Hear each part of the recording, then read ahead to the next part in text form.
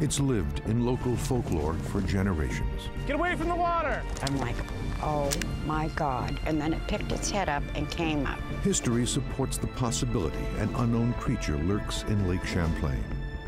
It's not inconceivable we could have an ocean migrant who got hopelessly lost. There could be links between this monster and real creatures. I believe that something in Lake Champlain echolocates. Science explores the probability, challenging old evidence, as others search for proof. The only thing really missing is the body. We're going to be eating here, we're going to be sleeping here. This is the spot to be to search for Champ. Witnesses around the world report seeing monsters. Are they real or imaginary? Science searches for answers on Monster Quest. Lake Champlain, a serene freshwater lake in northern New England that covers more than 400 square miles. It is bordered on the east by New York and the west by Vermont. The lake is a quiet place mainly used by small crafts, ferries, and lake cruises. And perhaps something else. Something that shouldn't be there. The locals call it Champ, America's Loch Ness. And like Scotland's famed Nessie, hundreds claim to have seen it. But what have they seen? On his way to Canada, the French explorer Samuel de Champlain mapped the lake that would eventually bear his name. Back then, this area was lush, remote, and sparsely populated. According to one version of history, in July of 1609, de Champlain became the first person to record seeing a monster here. As the legend goes, he described it this way a 20 foot serpent as thick as a barrel and a head like a horse. It kind of looked like you would guess what a submarine would look like. But it moved out, it turned around, and it went out into darkness. Had a girth or, or a, a torso about the size of a pony, I would guess. A crocodile shaped like a seal with a long neck. And it came up, and I could now make out part of the head and a little bit of the neck. I would say it was probably a good six to eight feet long. Very smooth skin, no scales, no fur that I could I could ascertain. And four sets of flippers and a tail. That's what these things look like. I didn't see any dorsal fins or anything. But that was not a fish. That was the, like a dinosaur head. Eyewitnesses today describe the creature as long, sleek, and prehistoric looking. It's estimated to be between 6 and 25 feet in length, possibly humpbacked, with a snake-like head. These descriptions indicate that whatever this monster is, it is unlike any known creature found in freshwater in this part of North America, or anywhere else for that matter. This body of water has a unique geological profile. Less than 11,000 years ago, what is now Lake Champlain was connected directly to the Atlantic. In 1849, two Irish workmen were helping to construct the first railroad between Rutland and Burlington, Vermont. They were digging in this area when they unearthed an extremely large set of bones. At first, they assumed it was just an old horse. It wasn't until later that an expert recognized the significance of their find. Zadok Thompson, a prominent naturalist and state geologist from Vermont, determined that this 12,000 year old fossil bore a strong resemblance to the still existing beluga whale. But what was it doing buried eight feet deep in mud? As it turned out, the Charlotte whale fossil was proof that the area had a fascinating geological history long before Samuel de Champlain encountered it. This is the Charlotte whale, and it's, it's so named because um, it was found in, in Charlotte, Vermont. So it's one of the ways in which we knew back in the 19th century that um, salt water had once, you know, existed here in the, in the Champlain Valley. According to geologists like Stephen Wright, the region was once a larger body of salt water known as the Champlain Sea. We currently think that the Champlain Sea existed here from approximately 11,000 years ago until somewhere in the 8 to 9,000 year um, range. So it was in existence for probably 2,000, maybe 2,500 years. But there is proof sea creatures inhabited these waters even further back in time.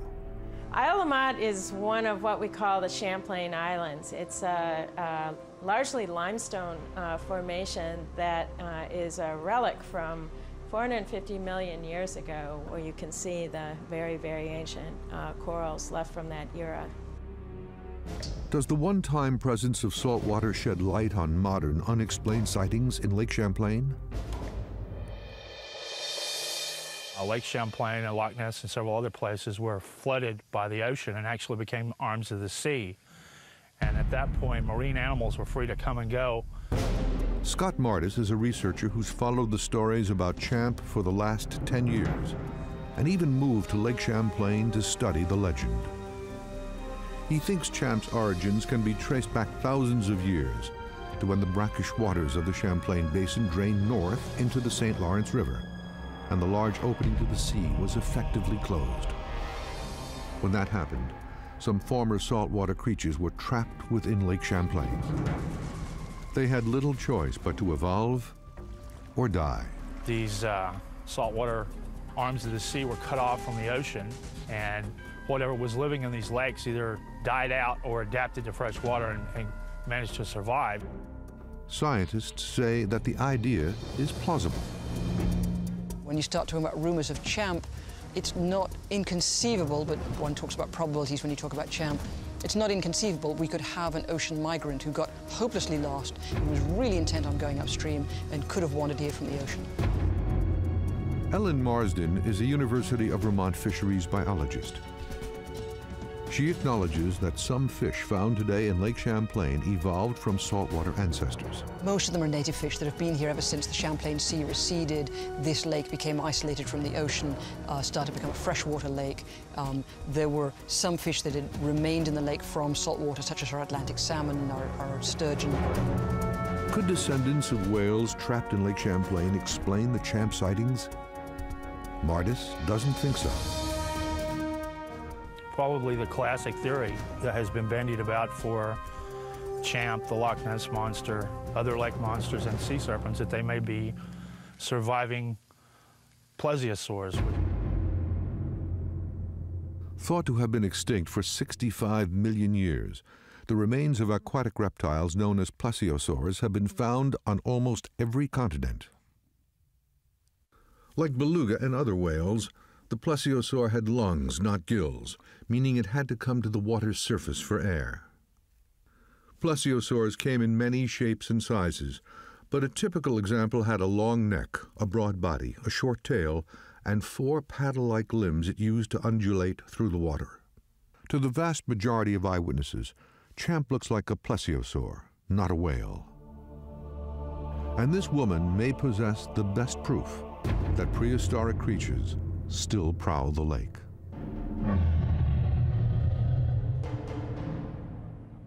July 5, 1977, near St. Albans, Vermont.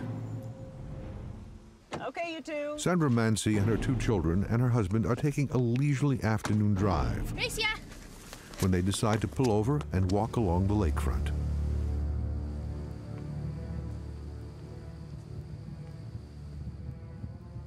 Do you see something out there? I think I see something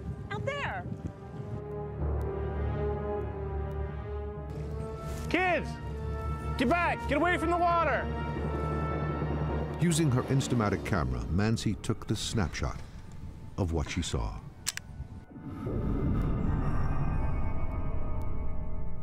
She said the head of the creature she saw rose six feet out of the water, and at least 12 feet of its body was exposed. According to Mansi, the entire sighting lasted around five or six minutes.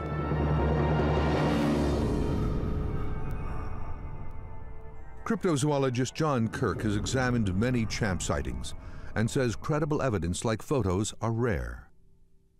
Sandra Mansi's picture at Lake Champlain is probably the best. But does science support the notion that a plesiosaur could exist today in this lake? Do I believe there's something unusual out there that we don't know something about? Absolutely. There's loads of stuff we don't know enough about out there. Do I believe there's a plesiosaur type monster? No, no.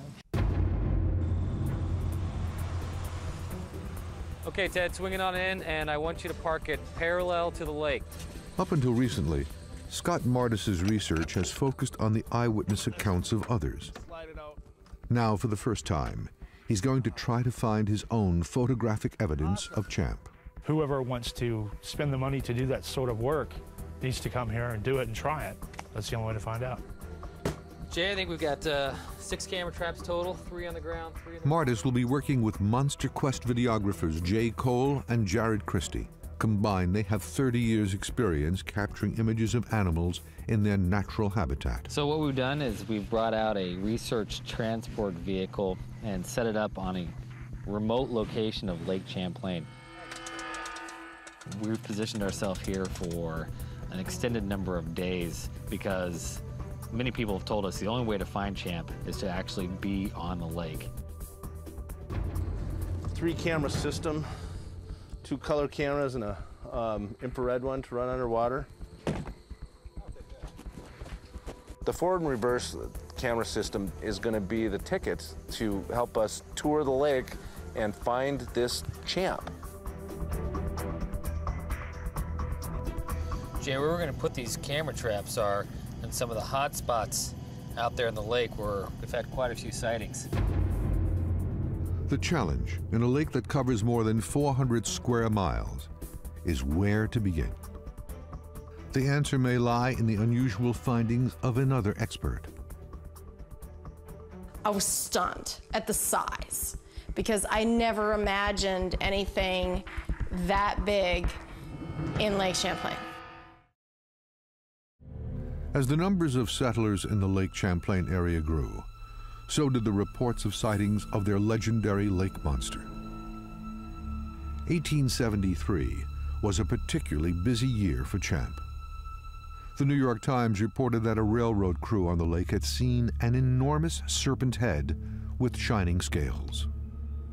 In July, Clinton County Sheriff Nathan H. Mooney reported an enormous snake or water serpent he thought was 25 to 35 feet long.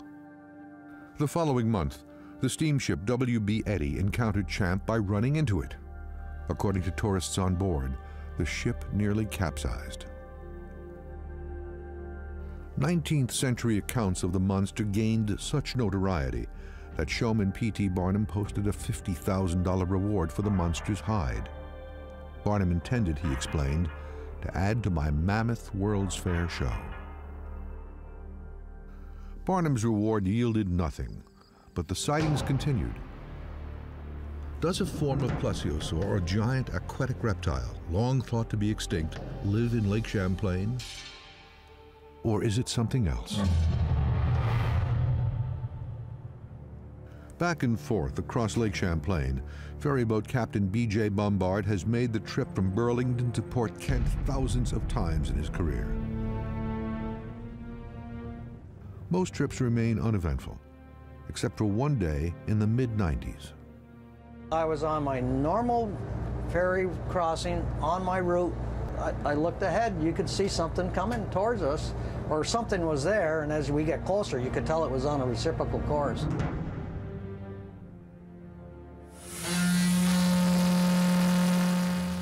As the strange object drew nearer, Bombard said he angled the ferry to get a better look. As I looked at it, it and we got closer, it kind of looked like you would guess what a submarine would look like if it were real close to the surface and it were just pouring water off the top of it. I got my binoculars out and I was looking at it, and as we got closer, you could see that it just wasn't a log and it wasn't two things. that seemed to be just one, one particular mass that, that's there. And I would say it was probably a good six to eight feet long. I didn't see any dorsal fins or anything. That's, it's, it's weird, but you know, I just didn't see any fins at all. The closer I got, the more it looked like something, but I didn't know what. And Elizabeth von Muggenthaler will add, she's never heard anything like it. There is no known fish or mammal besides whale or dolphin that produce echolocation. It doesn't lie. I mean, the signal doesn't lie. Elizabeth von Muggenthaler is familiar with stories like Captain Bombard's. She grew up along the shores of Lake Champlain. Today, she is an acoustician who specializes in recording animal sounds. In June of 2002, equipped with an array of sophisticated underwater recording equipment, von Muggenthaler's team recorded audio within the deep waters of Lake Champlain. She was astounded by what she heard.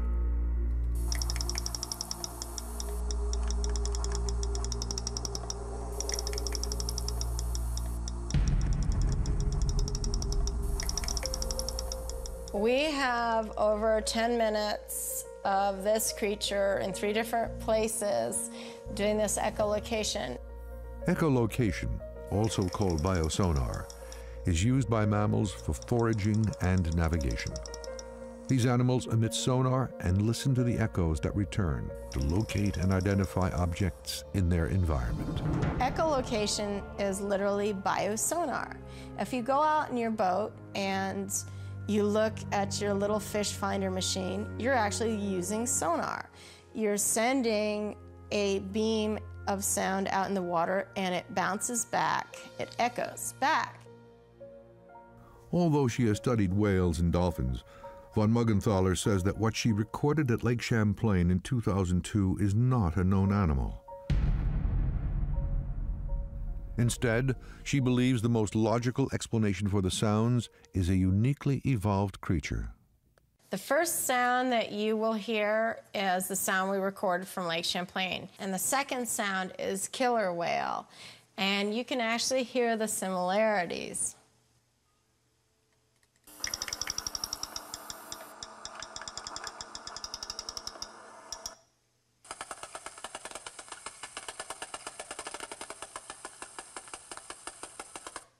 Very, very similar.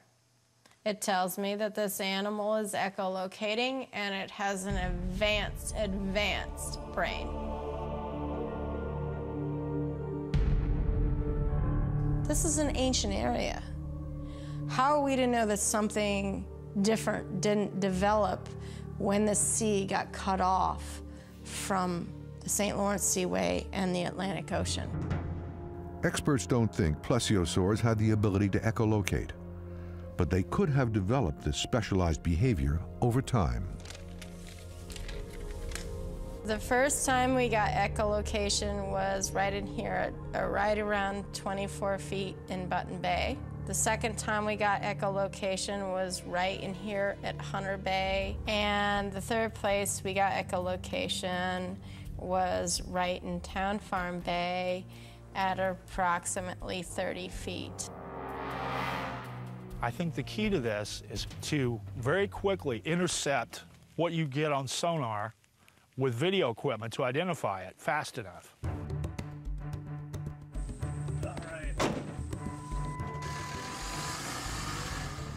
Champ researcher Scott Mardis and his underwater video experts are targeting the area of von Muggenthaler's sound recordings for their search. They will begin just north of Burlington, Vermont, and work their way south towards von Muggenthaler's three locations. How does this look down here? Perfect. Camera trap two going down. Using sophisticated 24-hour surveillance cameras, the team will hunker down for the next five days and wait for Champ to appear. All right, all three cameras are still rolling. You can see the divers. You see the bottom of the lake. This looks good. The camera traps we've positioned all along the shore here in this very remote location of Lake Champlain. Yeah, that looks pretty good though. To continuously roll video 24 hours a day. All right, recording. So if something were to swim by, swim up to shore at any point in the day, nighttime, daytime, sunshine, dark, light, we're going to have video rolling. Dozens of cameras will monitor three points around Lake Champlain, each camera will provide a different view underwater, level with the lake surface, and up higher for a more expansive view of the lake. In order to find Champ, you need to live it, breathe it, smell it, touch it, everything. So this is where we're going to be. We're going to be here 24 hours a day, early in the morning down the lake, late at night down at the lake. We're going to be eating here. We're going to be sleeping here. This is the spot to be to search for Champ. The team has been careful to position one of their cameras along this shore. That's because nearby, more than 20 years ago, one eyewitness saw Champ on land. And it come out of the woods, and it come right here under the light, and it stopped. Although it's a seemingly tranquil place, Lake Champlain has been the setting for over 240 sightings of what some say is a monster. The first of these, in July of 1609, is frequently attributed to the lake's namesake, the French explorer Samuel de Champlain. The story that has been repeated, often in print, is that Champlain claimed to have seen a 20 foot serpent thick as a barrel and a head like a horse. But a closer look at his journals reveals something startling. Champlain's actual description doesn't say anything about a serpent. Instead, it says this There is a great abundance of fish, the largest of them from 8 to 10 feet long, with a snout 2 feet long and a double row of sharp, dangerous teeth. It is protected by scales of a silvery gray color so strong that a dagger could not pierce them. As menacing as this creature sounds, experts say there is a creature in Lake Champlain that fits this description. Lake Sturgeon. Its ancient-looking armored body can reach lengths over seven feet. You could see a sturgeon near shore uh, doing a little bit of porpoising, enjoying itself perhaps at the surface, um, and would readily mistake that for something you'd never seen before and was pretty freaky looking. They've got a strange face, they've got the long nose that you don't expect in a fish. You might be thinking, horse? Mo monster? Um, their size, you know, would be pretty startling if one did surface. So I wouldn't put it past sturgeon being the origin of at least some champ sightings. While feeding or spawning, fish sometimes cluster head to tail near the surface, possibly creating the strange undulating humps reported by eyewitnesses.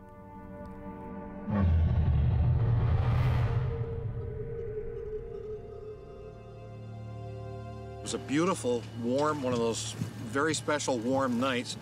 The water was glass smooth. Off to our right, we could see a, a very gentle wake.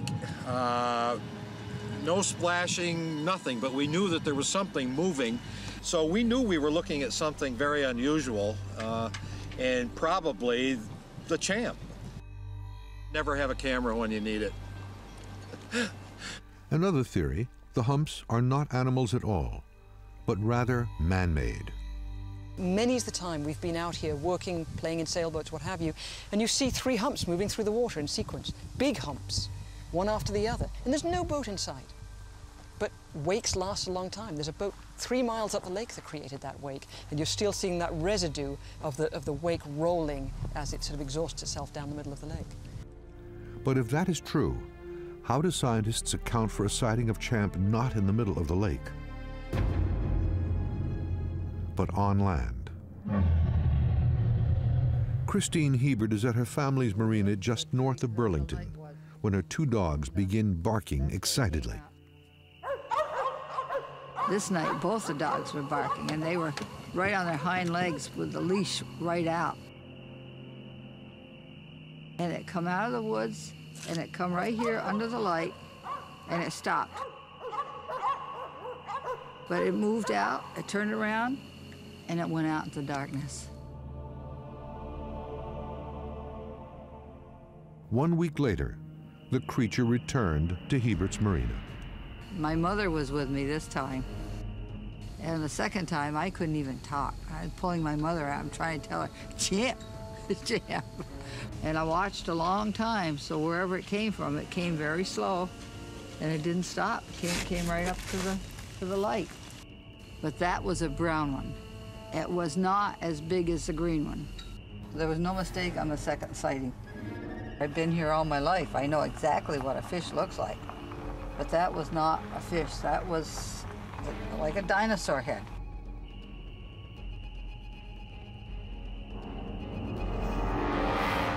Hebert describes a plesiosaur-like creature that held its head high while walking. While there is disagreement on whether a plesiosaur could walk or even slither on land, most experts agree they did not have the bone structure to hold their necks up high for any period of time. Yet evolutionary adaptation does occur in animals over time to adapt to their changing environment. A stronger or longer neck could evolve from a need to reach a high food source, possibly on land. Another critical component of the Hebert account is that she saw two animals of different sizes. This could indicate a family. You need minimally about 50 animals to get away from the issues of inbreeding, to maintain a population over a few generations. If you want to talk about really having a stable population over time, we know from conservation biology, we're talking more like five, 600, maybe a 1,000 individuals to maintain a population over time. But could Lake Champlain's ecosystem sustain such a large group of creatures? The lake is home to a wide variety of aquatic life, including large pike, trout, and carp, likely food sources for a plesiosaur or aquatic mammal. Still, if you've got 50 or 60 animals as big as Champ is reputed to be, they should be having a major dent in the food web of that lake. As members of Scott Mardis's video team work the shoreline near Christine Hebert's marina, Mardis and the remaining crew begin their search on the water. Big day, huh? Yeah. Scott, here is that giant fish camera lure that you were talking about. Uh-huh. How's that look? Looks great.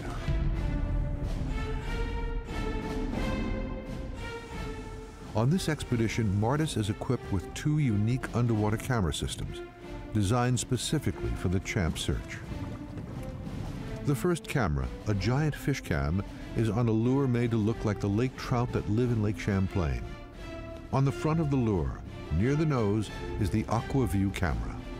If Champ is a predator, it may be possible to trigger an attack with this flashing, fast-moving lure.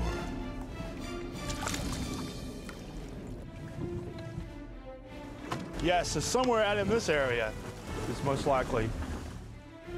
The second apparatus, a high-speed forward-reverse camera, is one of a kind.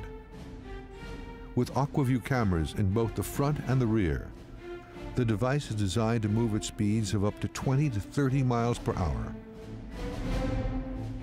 The element of surprise may be the answer.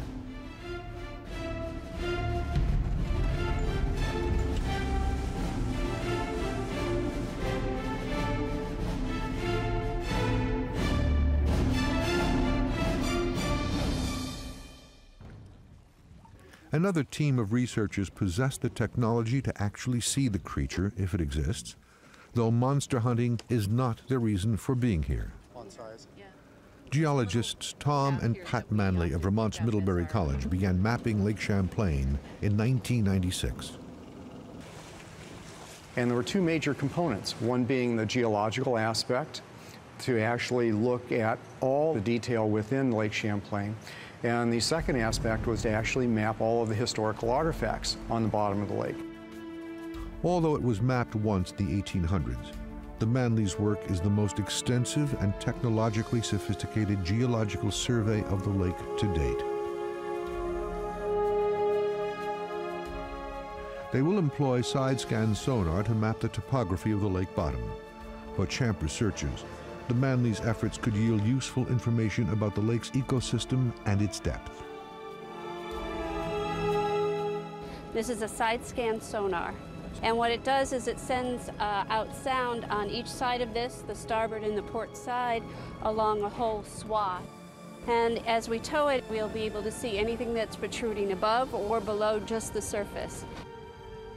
The Manley starting point today is one of Muggenthaler's echolocations, Thompson's Point. This is the direction of the travel of the boat. The red line is the port side, 50 meters out, so it shows you the range. And we're heading towards these dots, which represent the location of the little boat at the bottom of the lake. Now this is a log right in here at the bottom of the lake, probably 30, 40 feet long. Yeah, these are more, More fish, schools of fish right in here. Dirty fingerprints. Here it is. Oh, this is a beautiful image. You can get to see the, the hatch work, the bowsprit. The Manley sonar images are so detailed, it is theoretically possible for them to capture an image of Champ. And if it's an air-breathing creature, you'd expect it to have reasonable sized lungs, and we would expect to see a very, very large, huge hit on that. So far in their research, the Manleys have found many historic artifacts at the bottom of Lake Champlain. We've uncovered circa 70 brand new shipwrecks since we started this program, along with a lot of smaller artifacts that have been uh, located. But at this spot in 1990, they also found something unexpected. You can see that there's an old channel that's still buried, you know, that you can still see some indication of, and then all of a sudden it makes this large drop off into a deeper area of the lake. For centuries, Lake Champlain in the American Northeast and Loch Ness in the Highlands of Scotland have been famous for the monsters that are believed to lurk within their depths. Over the years, each lake has generated an emblematic photograph said to be the best evidence of its monster. This famous picture of Nessie, as the Loch Ness Monster is affectionately known, was taken in 1934. For six decades, it withstood careful scientific examination. And then, in 1993, it emerged that the photo was a hoax. This monster was actually a toy submarine, which was modified with wood and plastic and then floated and photographed. So far, the Sandra Mansi photograph of Champ, taken in 1977 but not revealed until 1980, has withstood scientific scrutiny. It's still a very interesting photograph, bar none, and if it is real, then it's the best of the lot. For some reason, those of us who dwell here in this country seem to have had better success than a lot of people from other countries who've attempted to film this phenomenon. I know we saw something in that lake, and had I not had the photograph, never, never would I have told. Mansi says she clearly remembers what happened that day. I want people to know that this is real.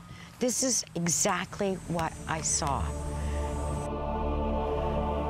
I'm watching out there and I could see, well, like turbulence or disturbance or something.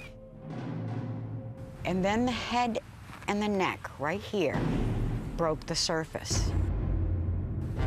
My legs gave out. I went down on my knees. The whole thing hit me at that point. And I had the camera and I picked the camera up and I took the photograph. It started going down, but it wasn't like just like that. It was, it went down, it went off like this. Sandra Mansi believes she has the best image of Champ. But two scientists may have the technology to capture an even better image. Pat and Tom Manley of Middlebury College in Vermont are on their 80th expedition in their quest to map the entire bottom of the lake. In eight years on Lake Champlain, have they found evidence of Champ? That's one of the first questions that people usually ask us is whether we have seen Champ. And the answer is no, we, we have not. They have, however, found evidence of something else, something that Champ researchers find encouraging. You can see that there's an old channel that's still buried, you know, that you can still see some indication of, and then all of a sudden it makes this large drop off into the uh, into a deeper area of the lake. This hidden highway runs through the deepest part of the lake. If these creatures do exist, could this channel explain how they have been able to hide and avoid capture for centuries? Even if I was driving a submarine in Lake Champlain, if that submarine was at a different elevation than we were actually mapping, we'd never see it. It also runs directly through one of the three locations where audio expert Elizabeth von Muggenthaler recorded the echolocations of an unknown creature in 2002. The underwater river channel found by the Manleys runs past Thompson Point, where Scott Mardis has returned for a fourth day. Scott Mardis and his underwater team have returned to the lake on this, the last day of their expedition, with their camera lure. Today, they've enlisted the help of Captain Al Martin. I've owned Point Bay Marina for 37 years, so over the years I've heard about all the stories that have come, come to light. The final spot Mardis and Martin have chosen to search for Champ is Thompson Point, at the bottom of the old riverbed discovered by geologists Pat and Tom Manley. This is the deepest part of the entire lake, and one of three locations from which Elizabeth von Muggenthaler recorded an unknown creature echolocating in 2002. Everything's hooked up, camera is rolling. At the moment it's 393 underneath the boat.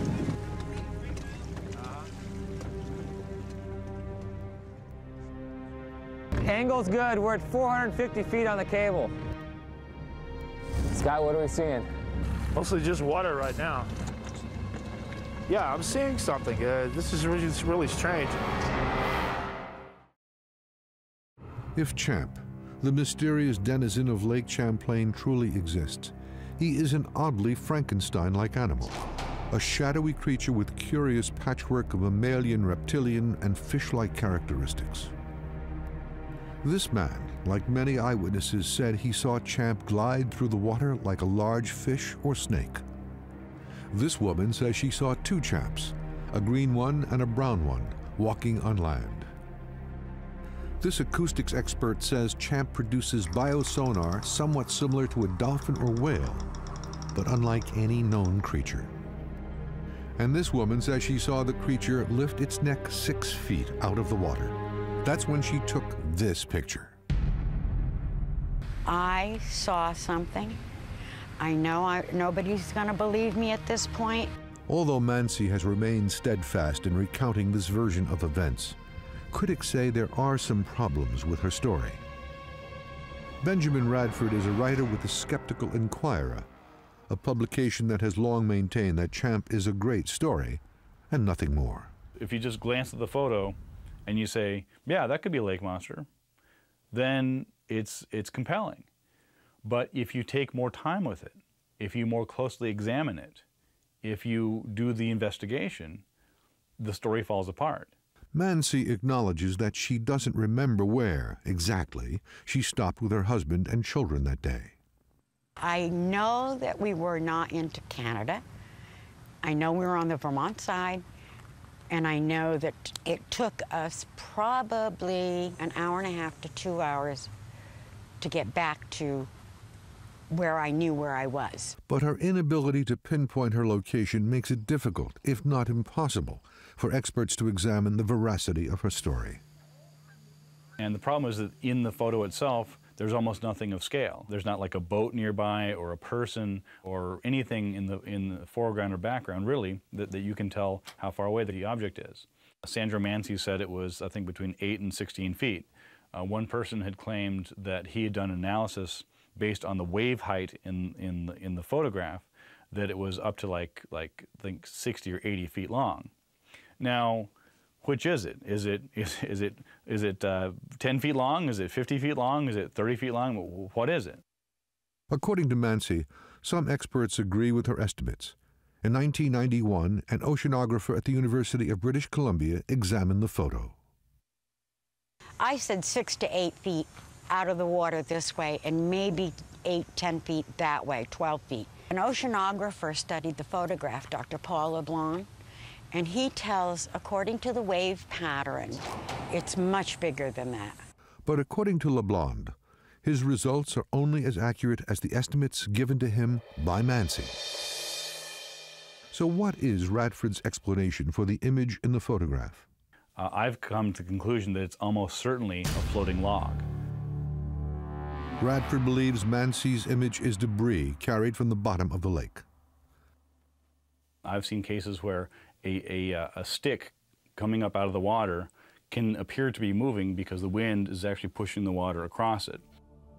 Decomposition creates gases within rotting wood, making them more buoyant and for a brief moment propelling them to the surface before sinking slowly again into the lake. It's important to realize that there's more than one explanation for lake monster sightings. Any number of things uh, that aren't immediately identified can be interpreted as, as lake monsters. In the case of the Mansi photo, this image could be the root of a tree trunk that was pushed to the surface before descending again into the depths. So what I've done is through my animation, I, I took a scale model of a tree stump and I rotated it 360 degrees to show how a tree stump could look like a lake monster from a certain perspective. My analysis of the Mansi photograph, I was trying to show that uh, the head and the neck aren't connected. It, it, looks like they are because there's a little patch right here uh, that is actually a shadow from, from the sun coming down, but the head and the neck aren't part of the same uh, creature coming down. But Mansi herself is unmoved by this hypothesis. It has been scrutinized for almost 30 years. And they can call me anything they want and think anything they want, but they cannot debunk the photograph. You know why? This is what I saw. You get parts where it's bouncing around the mud, but then you're getting other shots that's very clear at the bottom.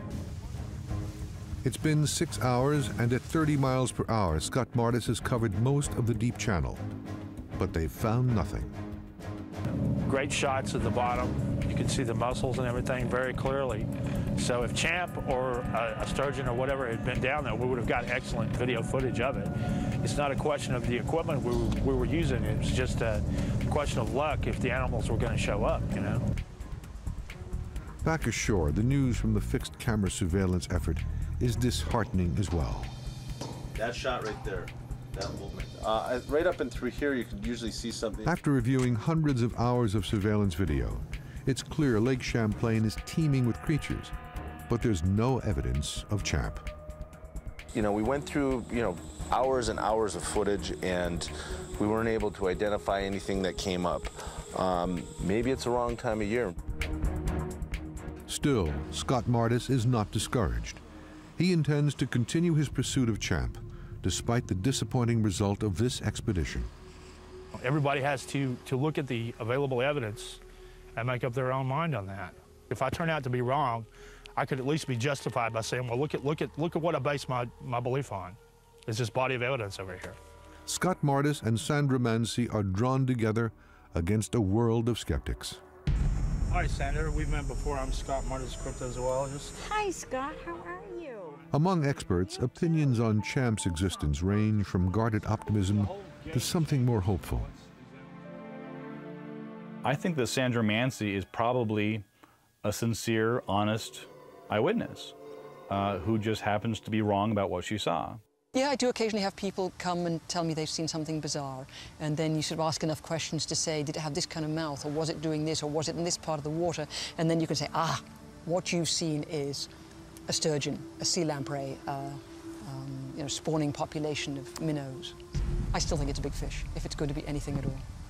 Echolocation only exists in those creatures that have a highly evolved communication center, like whales and dolphin. I would like to know what it is, but if we do find out, I hope we leave it alone. In fact, the eyewitness accounts are so common and apparently credible. In 1982, both the Vermont House of Representatives and the New York State Senate passed laws to protect Champ. Even without definitive proof, the creature was put on the endangered species list as a precaution. The law will protect the creature if anyone eventually does come upon a champ.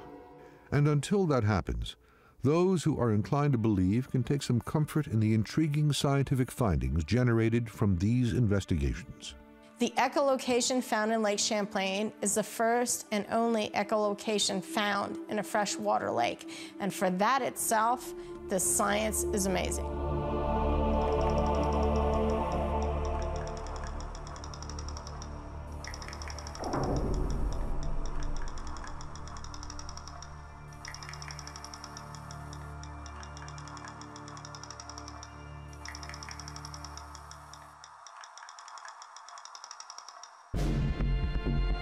Canada is home to a centuries old legend.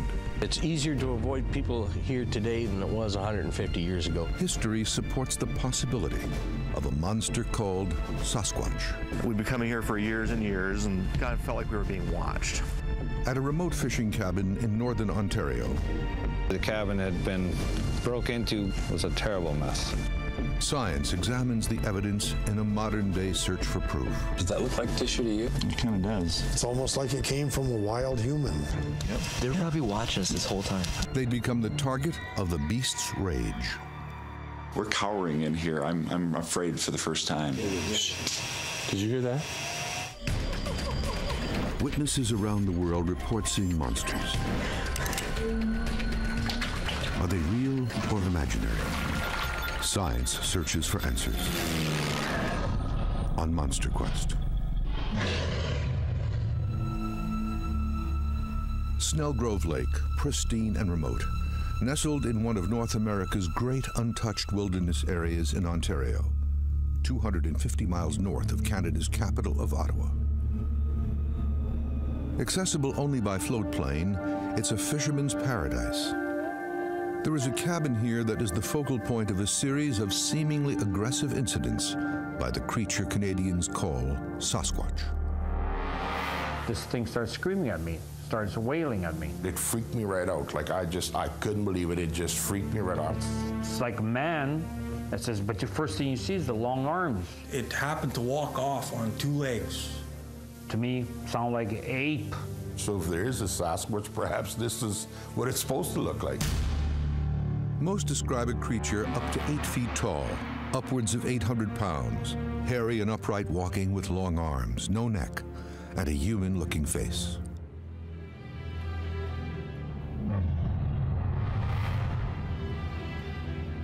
The name Sasquatch can be traced to the 1920s when it was coined by J.W. Burns, a school teacher in British Columbia.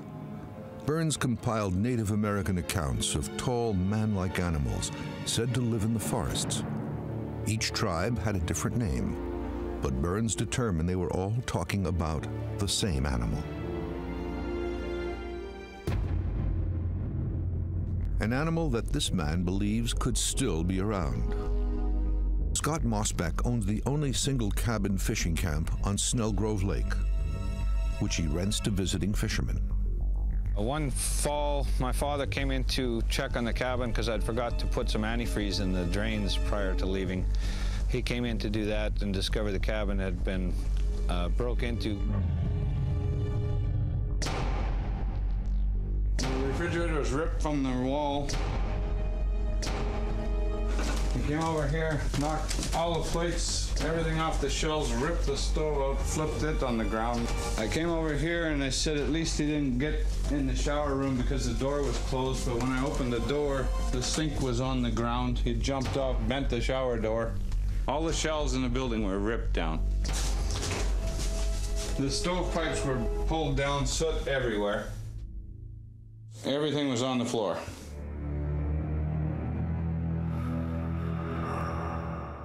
Most of these outposts would be lucky to see 50 people in a season. There is uh, virtually no population, hardly anyone year round, and only us visiting in the summer. Mosbeck says a creature has visited the camp regularly, seemingly angry about the cabin and sometimes the occupants. In 2003, Joe Frischella and some fishing buddies were enjoying a week of walleye and northern pike fishing at the camp when they were paid a midnight visit. We uh, flew in to Snow Snellgrove Lake. We've been coming here for years and years. We always got this kind of weird feeling. Kind of felt like we were being watched. Maybe much like a zoo animal would feel. It was just a feeling that I could never shake every time we went back in this area. Later, the group heard what they described as distant wood knocking or pieces of wood banged together. They decided to knock back. The, the person who heard the wood knock said, let's try wood knocking and see if we can get some kind of response. Later that evening, their fears became real. and the one person in our party had gone to brush his teeth. And the moment he got in front of the kitchen window, the cabin started shaking, and he heard this kind of screaming and screeching noise. Then the cabin started to shake. It started to vibrate. He felt like it, the cabin was being lifted. It, it, really scared him, and he ran over to try to wake up one of the dads and, and, pounded him on the shoulder and tried to get him up, and he couldn't get him up. Then the, the screaming and the cabin shaking just stopped.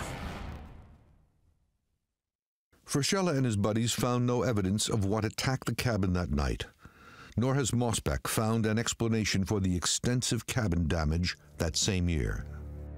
He made such a mess that at first I thought it had to be kids. I didn't believe even an animal would do it, but there's no way for them to get here.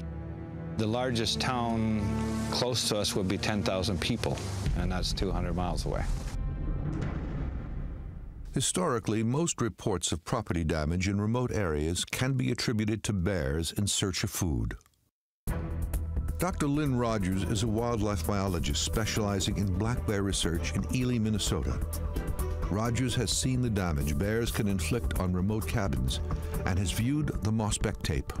The thing that just hit me about it was how thoroughly that cabin was trashed. Everything was on the floor and broken up and tipped over and heavy things.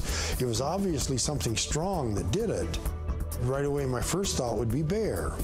But this is sometime between October 1st and the middle of the winter.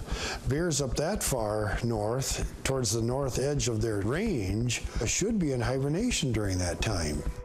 If they go for the refrigerator, they very often uh, are not going so much for the contents in there, but for the insulation. And formaldehyde is one of the ingredients of making this, and it breaks down into formic acid, which smells like uh, an ant colony. And so then you look for bite marks and, and claw marks where they tore open the inside of the refrigerator to get the, to the insulation. I didn't see any of that in this case. I really am baffled about what did this.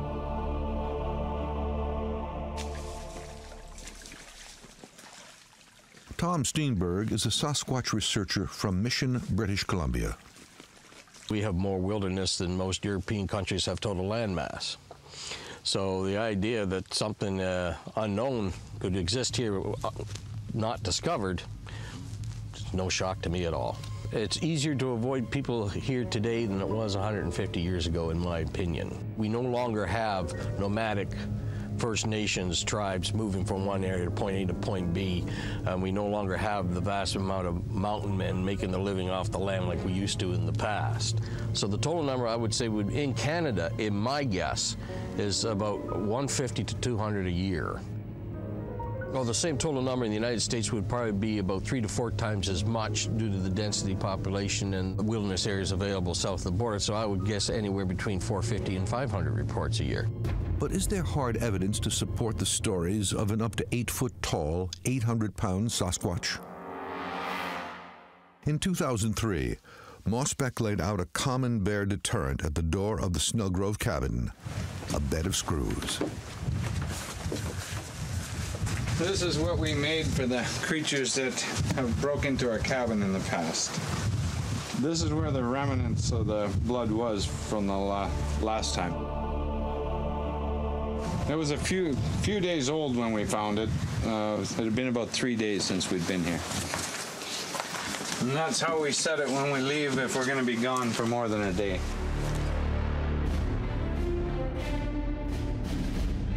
To go. We're all loaded. One of you can go in and go co-pilot. Okay, I will. Okay, you're in first up through the center. Next best seat. The blood evidence, the remote location, and the high number of encounters make Snellgrove Lake a prime spot for a monster quest search. Mosbeck asked scientists Jeff Meldrum and Kurt Nelson to investigate.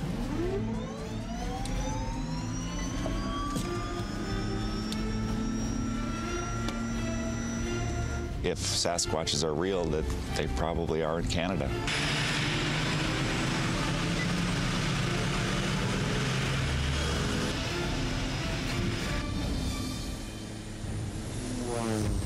from the air, it's simply uh, uh, awe-inspiring. The the expansiveness of the of the wilderness. Given the, the location and, and the lack of population around here, it certainly wouldn't surprise me for something like that animal to be able to live here without being detected. There are very few trails, uh, very few uh, pathways through this wilderness uh, on foot. For all practical purposes, the bush in between these lakes is unexplored. Dr. Kurt Nelson is a microbiologist at the University of Minnesota. He's anxious to examine the screw board for any remaining blood, hair, or tissue.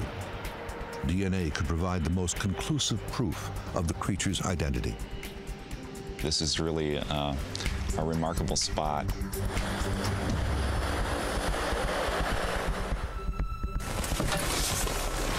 Thanks. Wow, this is great. It's a good place.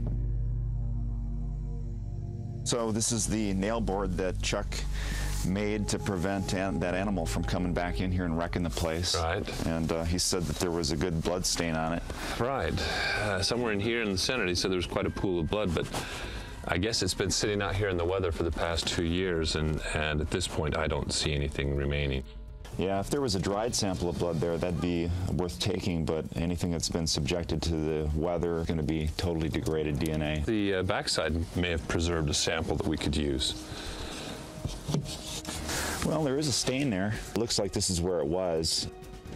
There's some material clinging to these the threads on these screws in a few places. Uh, does that look like tissue to you? It kind of does. Well, maybe this is tissue. We should probably uh, collect a sample just to be on the safe side, take it back, and have a closer look at it in the lab. Yeah. Okay, so I'm just going to take a little bit of this.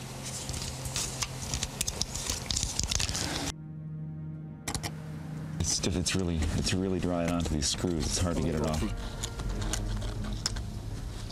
I didn't hold out much hope for the possibility of uh, DNA from this old blood sample, but with these threaded screws and what may be tissue samples, it's a whole new ballgame. Who or what left the flesh, blood, and hair behind? The answers may be as easy as connecting the dots. So if you start just on this edge where the blood leaked behind and look at the screws that have this tissue on them, I think that one maybe does. This one is for sure covered. I'll mark that one. that one's too rusty. You can't tell. That one for sure. This one I'm not quite. Let me let me look because this helps. It almost seems to have a hair attached to it. Well, we would call it a fiber at this stage of the investigation. Yeah. So I don't know. Do you think it's a positive screw? It's kind of questionable. I'd say it's questionable. That one for Definitely sure. here. What if we just now try to connect the dots and just get an overall idea of uh, the general shape of what we're looking at and size uh, of this? Yeah, let's do it. Okay.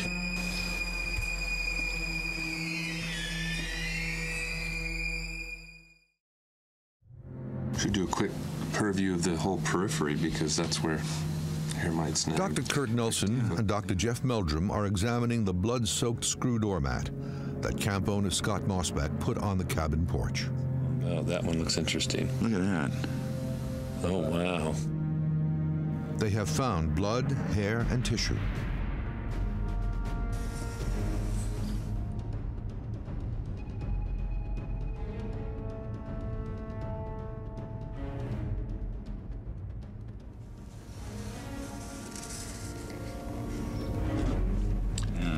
And then, of course, we have no nails over here. Yeah, there just is no nail. Then we end up with something that looks more like this. The bloody outline reveals what appears to be a large footprint. But it doesn't take a lot of imagination to extend that out, and you've got essentially the outline of a Sasquatch footprint. This simulation illustrates Nelson and Meldrum's theory. The creature put its full weight on the screws, forcing them an inch into its foot.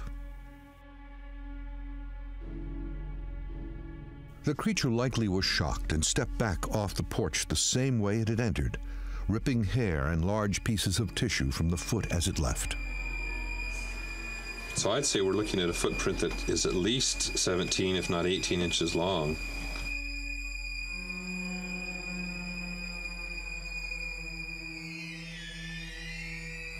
The, the flesh samples uh, were, were stunning uh, as, as we, we noticed it. I mean, at first I was a little dubious that we'd have anything worthwhile given the length of time that it had been out in the weather. But as we began to look closer, and what had appeared to be just red paint, then obviously was not, was, was dried blood, and the pattern of distribution was quite distinct. So uh, there's a very good likelihood we'll be able to get DNA from that sample, at least enough to determine whether it was just a bear or whether it was something with a much larger, very distinctively shaped foot.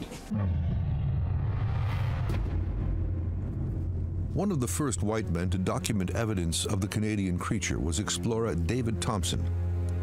In 1811, while searching for a waterway from the Hudson Bay to the Columbia River, Thompson discovered something unexpected.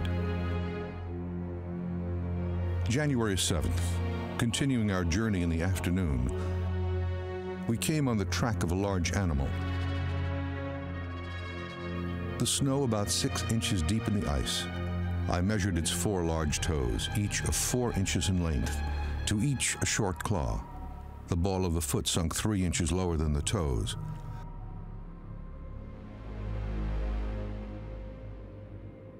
The hinder part of the foot did not mark well. The length, 14 inches by 8 inches in breadth.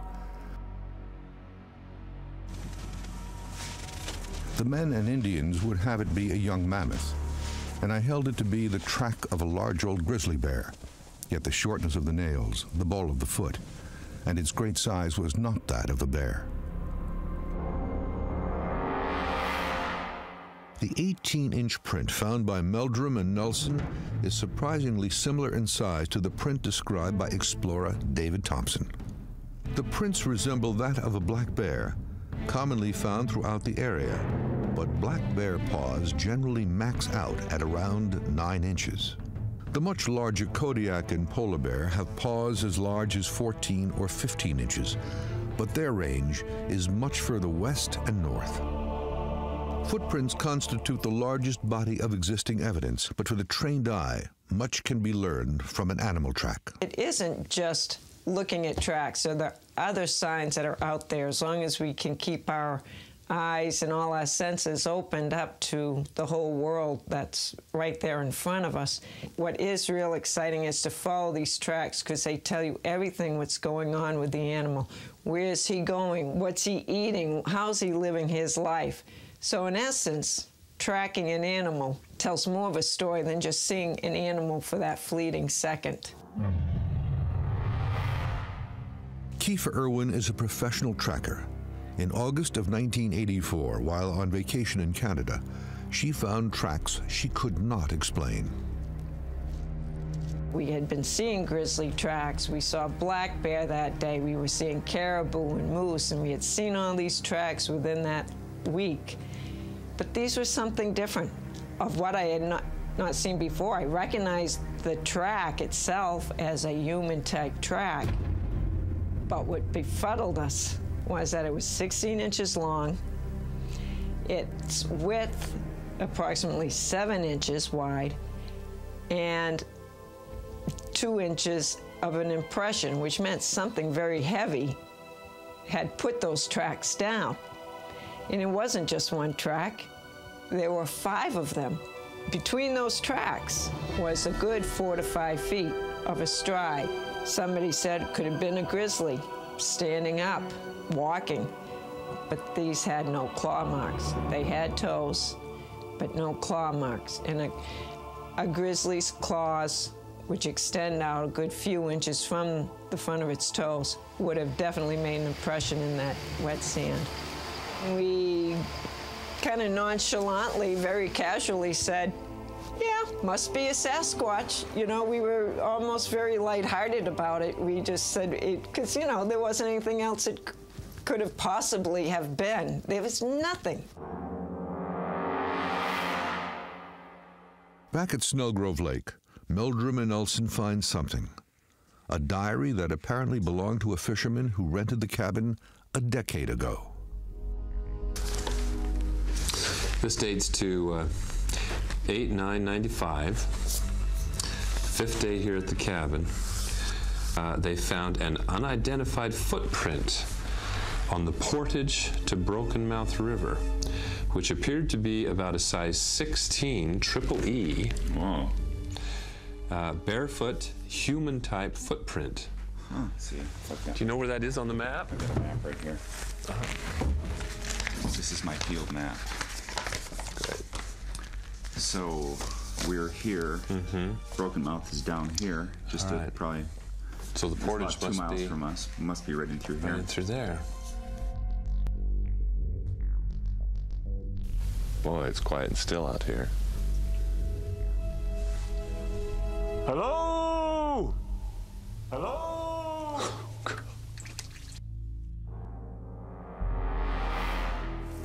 Oh, Nelson and Meldrum have developed a simple strategy. Surround the cabin with camera traps and make lots of noise to draw a creature in. There's kind of a nice opening back here. We can maybe position it to watch that. Meldrum believes the creature is unafraid of humans and may even initiate contact. He plans to target this behavior. Across here. Right. Stealth cam digital camera traps are strategically placed in the forest near the cabin. Okay, Okay, now we gotta set it up.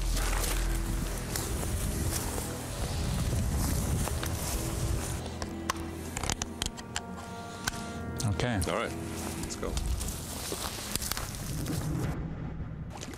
One, Kind of two. Nelson will set out to the Broken Mouth River portage, mentioned in the fisherman's diary.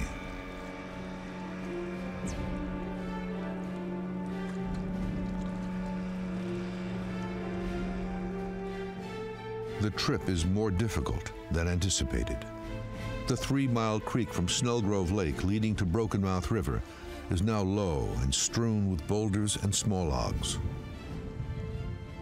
Yeah, I think that probably the best way to see one isn't to go out and find it yourself because I don't think uh, you can stalk one. I don't know, people don't know how to do that. I think the best thing to do is to try to attract them to you. So my goal in coming on this trip was to go up by myself. I wanted to be by myself on a, on a remote outpost camp where the rest of the guys were back at, at the cabin so that I could separate myself from all of that and uh, maybe um, make myself more attractive to a Sasquatch that could approach and be interested in human beings because they seem to be. There's lots of cases of them coming into camps. Kurt has targeted a camping spot on the opposite side of the lake. A 200 foot wide moss covered rock located near a swamp and an open area that will be covered with camera traps. Great bed. Well, Kurt, this should prove to be an interesting night. I hope so.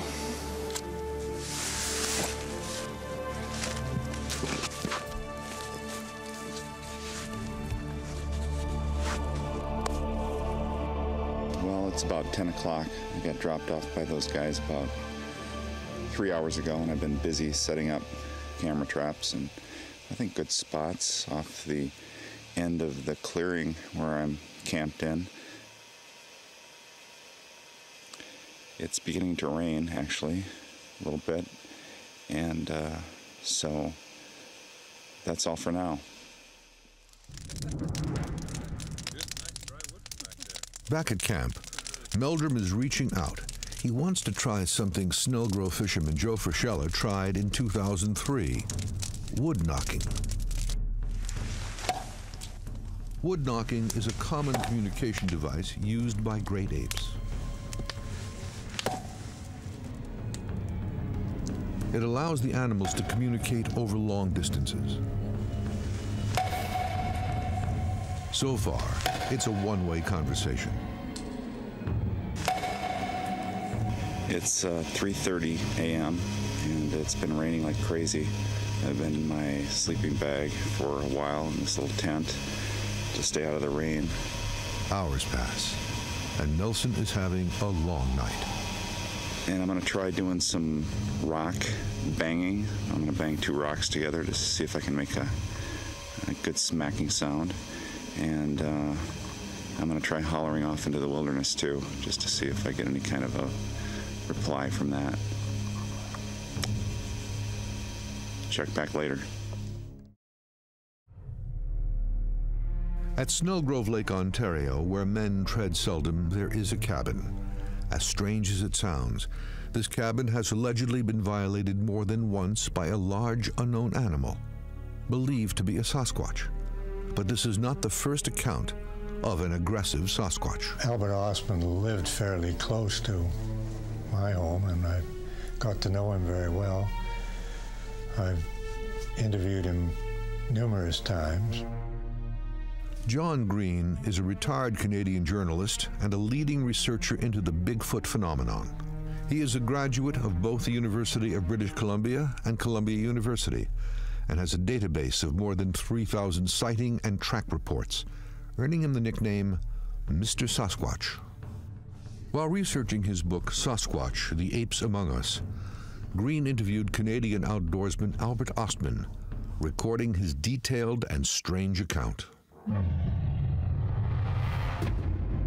Ostman claimed he was kidnapped and held captive by a family of Sasquatch in 1924 while he was prospecting in British Columbia, Canada. This is the actual audio recording of Ostman's account made in 1966. I was out on prospecting trip. I was in, I think it was about six or seven days. and I was camping at the place there. and they uh, began to bother me at night there. I thought first there would be porcupines or probably bear or something, but uh, evidently was something else. And uh, that went on for about three, four nights. And finally one night I was picked up by, in my sleep and carried away. He carried me for, I don't know, oh, probably three, four hours. Then I was let down in a, in a valley where, uh, uh, of course, it was dark, you know. I heard a lot of chatter around. So a little after four o'clock in the morning when he let me down. Ostman claimed the creature carried him in a sleeping bag, which also contained food supplies and his rifle. Ostman didn't feel threatened by the strange creatures, but he also didn't feel free to leave, so he settled in and made his own camp. Finally, when it got lighter, I noticed these people around me, four of them, two big ones and two small ones, but they were all covered with hair and no clothes. Never bothered me. They, evidently, they had some reason why they wanted me there. I had uh, enough wood gathered up so I cooked coffee. And I guess the aroma from that brought him near, and he was sitting about 10 feet away from me when I was drinking my coffee. And then I opened a box of snuff, you see. And I, when I opened that and took a pinch, you know, he reached out for it, you know. And he emptied it right in his mouth. And, and he swallowed it. And uh, that didn't feel very good, you know tastes very good, I guess. So, and then he he had to have something to drink, I guess. So he grabbed that and he drank the coffee can, ground and all. As a result of the snuff and the coffee, the beast ran off, likely looking for water. That's when Ostman made his escape.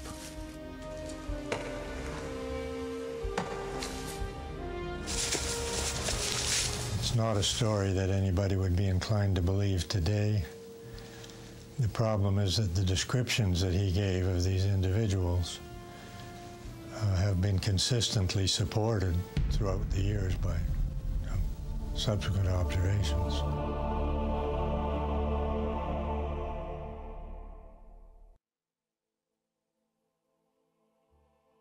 If the Ostman Sasquatch, like the Snellgrove creature, is real, they must eat. Dr. Meldrum struggles with whether this wilderness has enough food sources to sustain a large beast.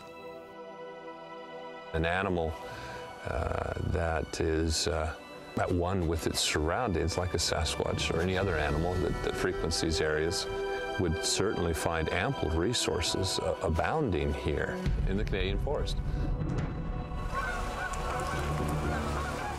Snellgrove Lake and the surrounding area is frozen all but 10 to 12 weeks a year. An 800 pound animal would likely need more than just lichen, berries, and roots to sustain itself. But Meldrum may have found another source. One of the plentiful food sources here in the North Bush are spruce grouse, which are uh, rather tame, unafraid of, of humans. And um, as an experiment, I attempted to hunt one down myself and was able to stalk one to within a few feet. Had I wanted to dispatch it, it would have been very easy to do so, uh, even by hand, let alone picking up a stone and uh, uh, knocking it down or knocking it from a low tree branch where they often roost. Meldrum theorizes Sasquatch would most likely be nomadic, moving through the area during the months of June, July, and August, when food sources are at their peak. The same time, fishermen inhabit the cabin at Snellgrove Lake. For Meldrum and Nelson, bad weather may have hampered last night's efforts. It is already late on day three, and Meldrum is anxious to pick up Nelson from his remote camping spot. Ah, I'm glad to see you guys. Yeah, I bet. Must have been a fun experience. Oh, it was neat, but it rained a lot. Yeah. Um, I didn't hear anything. I uh, I had the camera traps out. It is the team's final night at Snellgrove Lake. After three days of noise and foraging, they are still holding out hope for an encounter. The huge fire acts as a beacon, its glow visible for miles. The team is waiting with infrared and thermal cameras to see into the night. They are ready, or so they think. At around midnight, without warning, something happens. They were probably watching us this whole time. Of course. Of course they were. Something has thrown a rock at the camp. Oh, Did you hear that? That rock was pretty good size. I'm still shaking. It sounded to me think it like could it still hit be from on that side and hit this. I thought it came over the It the crest back. into this side. Walk to the edge of the building. No, please. Just stay here. We've had action now. We've had rocks thrown at us.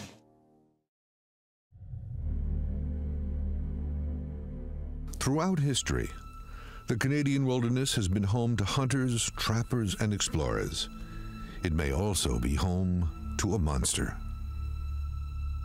People now, the general population has more knowledge of the, the subject as a whole. And now people can, without too much difficulty, find someone to actually report it to, whereas in the past, no one had any idea who to report something like this to. The Sasquatch is similar to other creatures seen around the world, but is also different. The Yeti is said to be a quadruped, or an ape that moves on all fours.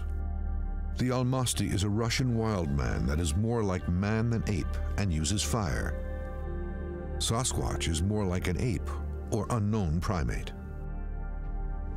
Most reports also point to how elusive and shy these animals are, avoiding human contact. But not always. Sasquatch sightings happen when they come close to people, not the other way around. Most eyewitness encounters end as suddenly and harmlessly as they began, but not at Snellgrove. Eyewitnesses claim this beast does not seem to like visitors. Oh, I don't know what would make that sound. I wasn't that close to it, but I really heard it. I, I can't believe it. I really can't believe it. Without warning, a rock flies out of the woods and hits the cabin. One of us was urinating off the porch About. when the first stone hit the side of the cabin. This rock on the side of the building was bang. It's scary. It's it's amazing. It's always stuff you hear about that doesn't happen to you. I've been in the woods a lot, I camped a lot, and I was out in the woods all by myself last night. Camera crews scan the immediate area with the night vision and thermal cameras as the team retreats into the cabin. This is weird. This is this is quite exciting. I have to admit. I've not experienced anything quite this dramatic before. One crew member threw a rock back into the woods, only to have another rock thrown back. Uh, and that was followed shortly after by a, a rather larger rock uh, bouncing down the roof of the cabin. Um, this is quite quite distinct. Uh, obviously, there's nothing in the woods that's uh, recognized anyway that can lob rocks in that fashion. And we're all together. I'm with everybody, so I know that it's nobody goofing around.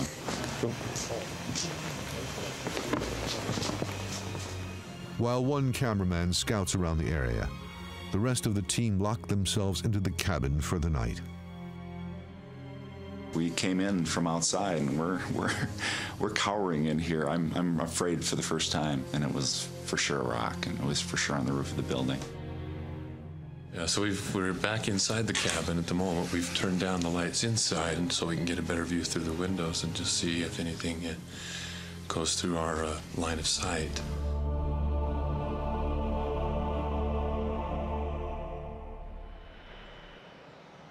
The morning could not come soon enough for Meldrum Nelson and the entire crew.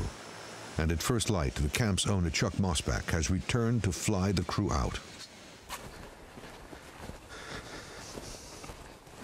What happened? We really had some action last night. yeah, it's, it was amazing. Um, An examination of the area reveals no tracks or other evidence. But whatever hit the roof that night may still be there.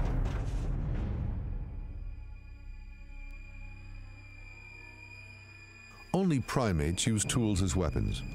Rock and stick throwing is common in chimps and great apes. Good throwing rock. Whatever or whomever threw the rocks at the cabin is never revealed. But Meldrum and Nelson leave with an ample supply of blood, hair, and tissue from the screwboard.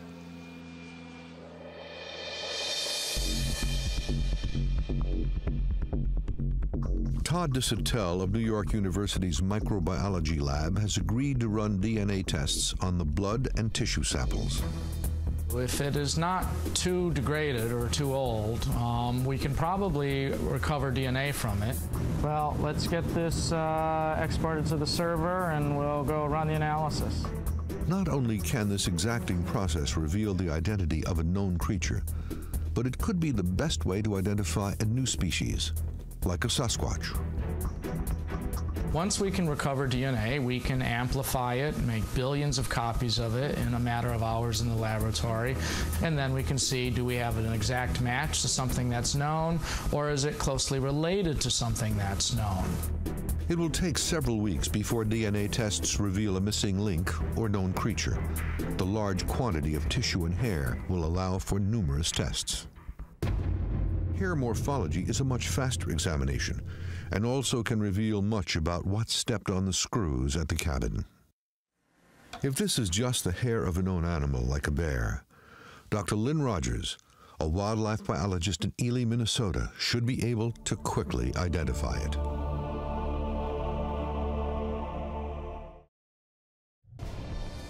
Northern Canada is mostly a vast, uninhabited wilderness. But even with a small human population, eyewitnesses occasionally report encounters with Sasquatch. This man first recorded finding 14 inch tracks in 1811. This man claims the animal shook his fishing cabin. And this cabin fishing camp at Ontario's Snellgrove Lake has become the scene of multiple incidents. But by what? And why? He made such a mess that at first I thought it had to be kids. I didn't believe even an animal would do it, but there's no way for them to get here.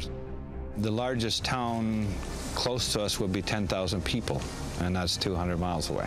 One expert says he does not believe a bear is responsible for the cabin's destruction.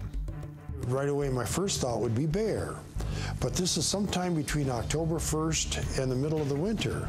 Bears up that far north, towards the north edge of their range, should be in hibernation during that time.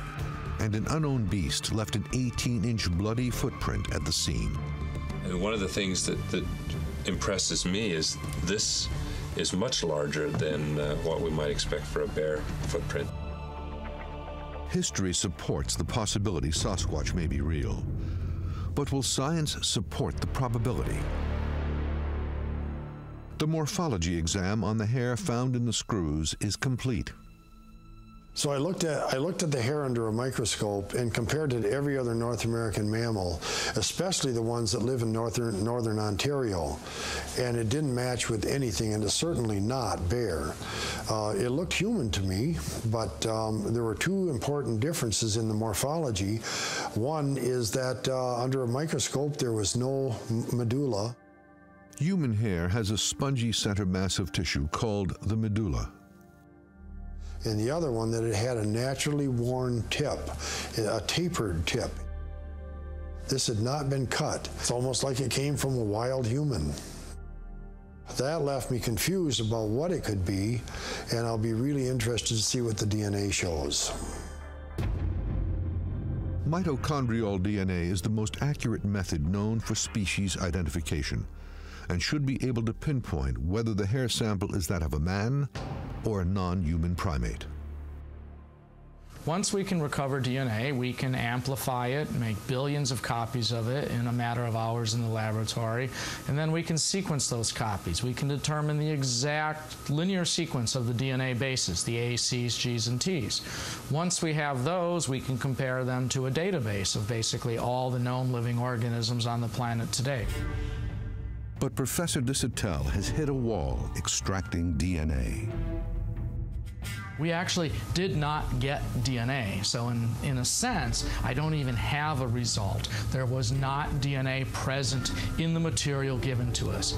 Either that material was so degraded that any viable DNA within it had basically been destroyed by other organisms or by um, nature, or those were not biological samples. Dr. Kurt Nelson also has been doing DNA tests on the blood, hair, and tissue samples and suspects there is an unknown substance or inhibitor present that is interfering with the DNA extraction. Nelson must first identify the inhibitor and then remove it from the sequence. The inhibitor has been identified. The galvanizing on the screws was mixed in with the animal DNA Nelson can now nudge DNA from the purified samples. The scientific evidence at this point is suggesting that there really is an animal there. I cut it out, I repurified it, and I amplified it again using the same primers. I got a very strong reaction when I did that. And the reason was that I had gotten rid of the inhibitory stuff by running it out that way. And I found that it was identical to human DNA except it had one nucleotide polymorphism. That nucleotide that was different was a difference that is shared with chimpanzees. I got DNA that was primate DNA, and I knew that I might be looking at the DNA of a Sasquatch. The DNA says primate, but not quite human and not quite non human primate. One of the base pairs is deviated.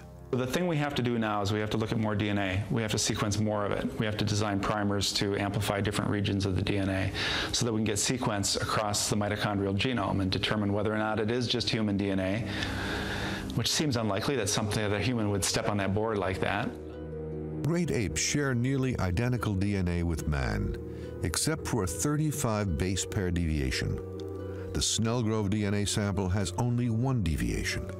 According to Nelson, there is only a 1 in 5,000 chance this is human DNA.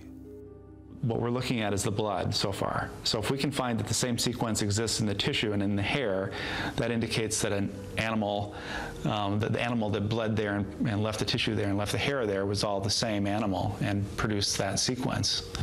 That's important to tie it all together. And that could take a year.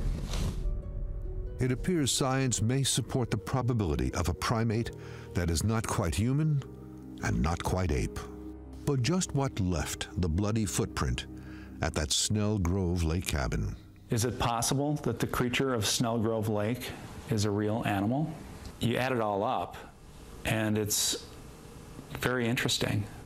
In the end, the creature of Snellgrove Lake may really roam the forests of Canada. Whether this creature is a genetically mutated man or a yet to be discovered animal, the Monster Quest search will return to Snellgrove Lake for a more extensive search.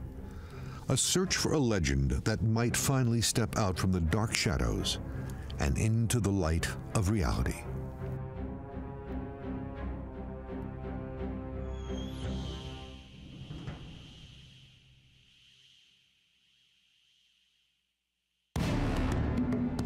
A thousand feet below the surface, the search is on for a monster.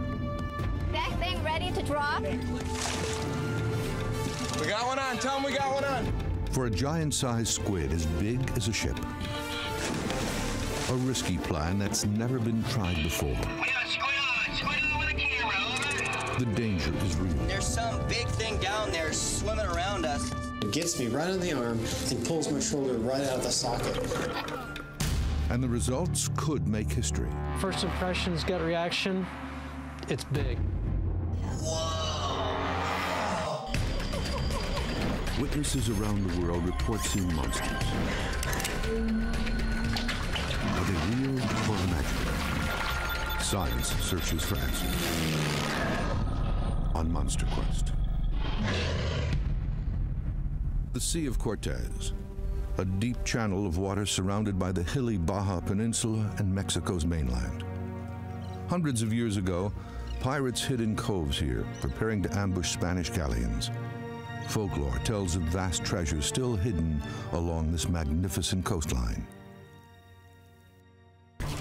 But further out to sea, something else hides within deep waters. For as long as they can remember, the native Pangaros here have feared something they call El Demonio Rojo, the Red Devil, and accounts dating back centuries say it's a man killer. This one may just be a baby.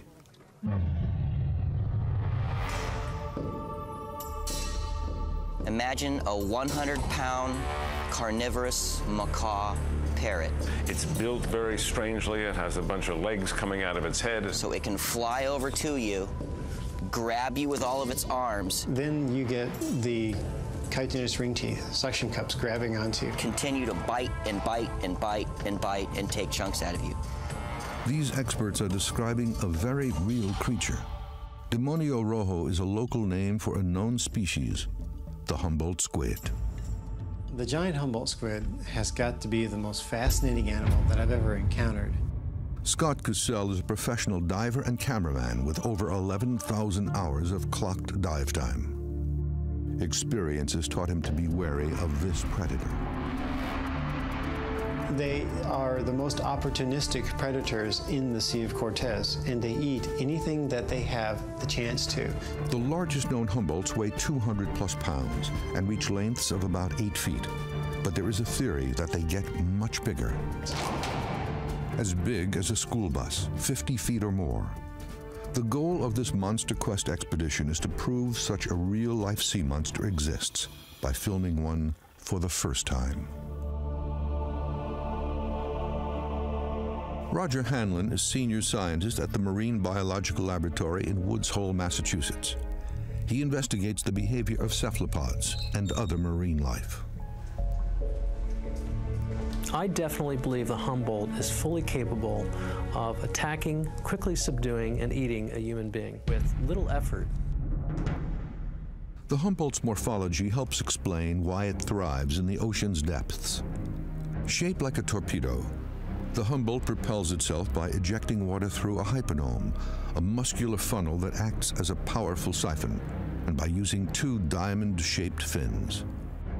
Using this method, it can travel amazingly fast underwater, at speeds of up to 20 miles an hour.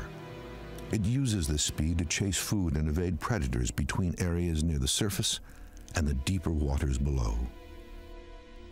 They vertically migrate almost on a daily basis. They stay deep during the day, they come up shallow during the night. They're following food sources, they're evading predators. The first thing you notice about this eye is its extreme large size. And this imparts the ability to see objects very clearly, high visual acuity at a distance. Squid eyes are filled with a little known substance known as rhodopsin, or visual purple. And we know what the peak sensitivity of that rhodopsin pigment is. It's 492 nanometers. They see the world in shades of blue-green. This chemical may also explain why much bigger squids are seen so infrequently. They dwell in deeper waters. Even in the dark abyss, they can see any approaching threat long before other creatures might. And when presented with these threats, Humboldt squids respond in a unique way. Chromatophores in the squid skin open and close to flash from red to white, possibly to signal danger. It communicates by sight by using its chromatophores. The chromatophores are linked directly to the brain with the biggest neurons in the animal kingdom. Imagine 50 foot predators with the ability to communicate and coordinate attacks. Their large brains suggest they have that capability. The Humboldt squid has got to be the most fascinating animal that I've ever encountered. But Scott Cassell knows firsthand that as fascinating as these creatures are, they are also dangerous.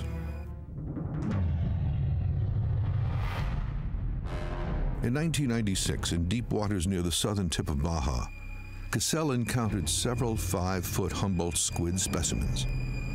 When the first one reached out to touch him, it led to an experience he likens to a mauling. Gets me right on the arm and pulls my arm back and gives it a good yank and pulls my shoulder right out of the socket. And as I was really shocked about what happened, I feel a couple more of them wrap onto my feet and they start to pull me down.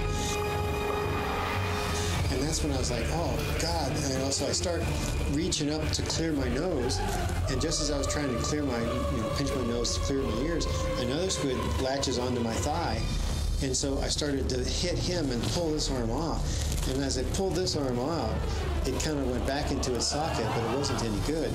So I just held onto my camera as hard as I could, and I was beating this animal while the other ones were dragging me down, and I felt my right eardrum just pierce in just imploded. So I ruptured my right eardrum, which, if you've ever experienced that, is just instant vertigo.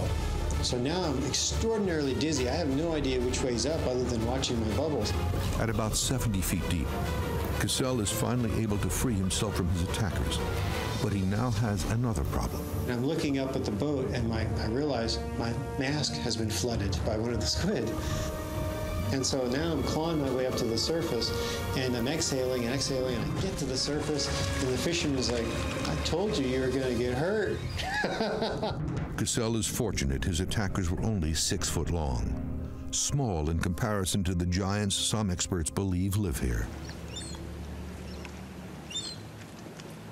I believe that there could be large numbers of these monsters in the bottom Sea of Cortez. Doug Hajicek is a wilderness television producer and inventor of specialized camera systems. Hajicek says there is a reason the monster sized squid have not been discovered. My theory is really based on nutrition. What I think happens is that the five, six, eight foot Humboldt squid travel up and down the vertical water column, and on their way up, they're gathering nutrition by way of eating fish and other small game.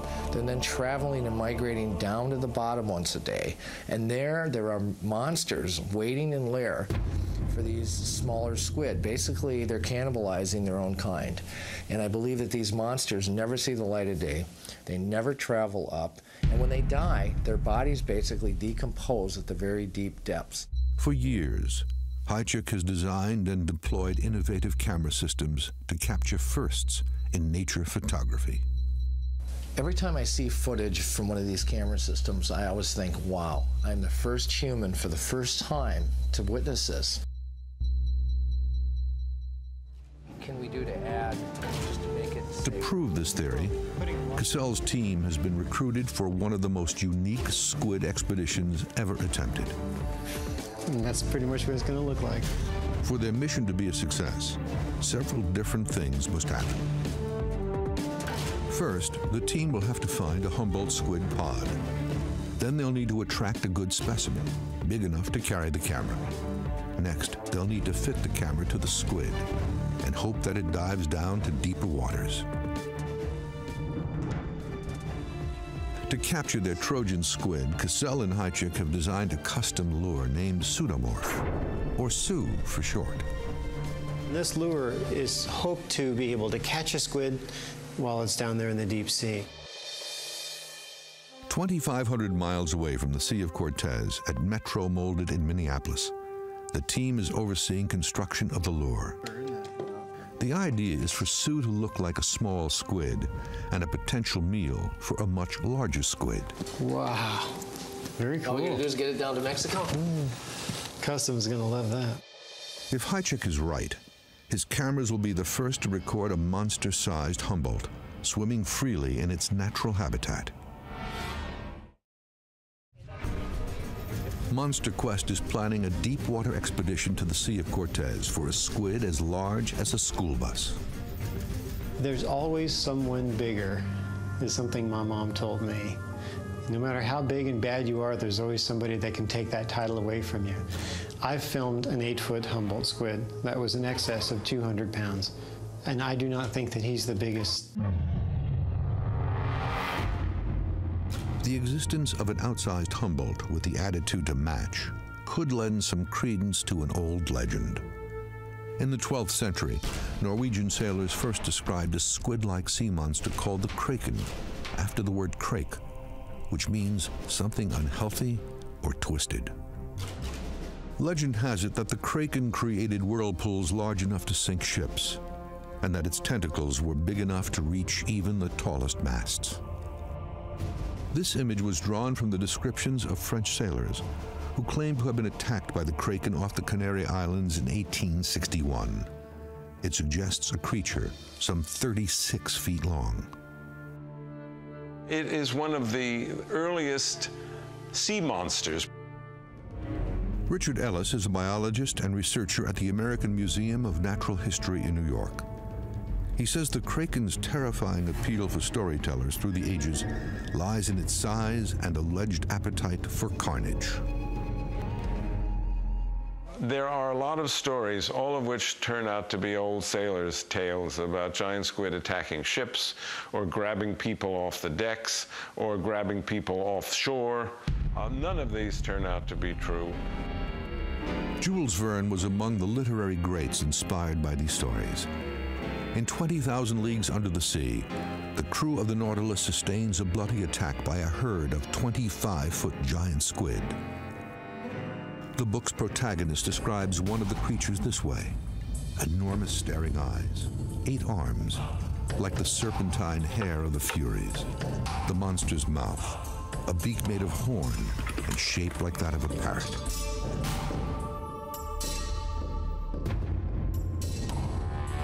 Among the first people to suspect that it could be a giant squid were whalers who worked in the southern oceans. The whalers in the 18th and 19th century, which were hunting sperm whales, would catch the sperm whales and harpoon them, and every once in a while, a harpooned sperm whale would regurgitate some strange object, which turned out to be often the arm or the body of a giant squid. The whalers would hook that, drag it ashore, and look at it, and they were probably the first people who methodically understood the existence of giant squid.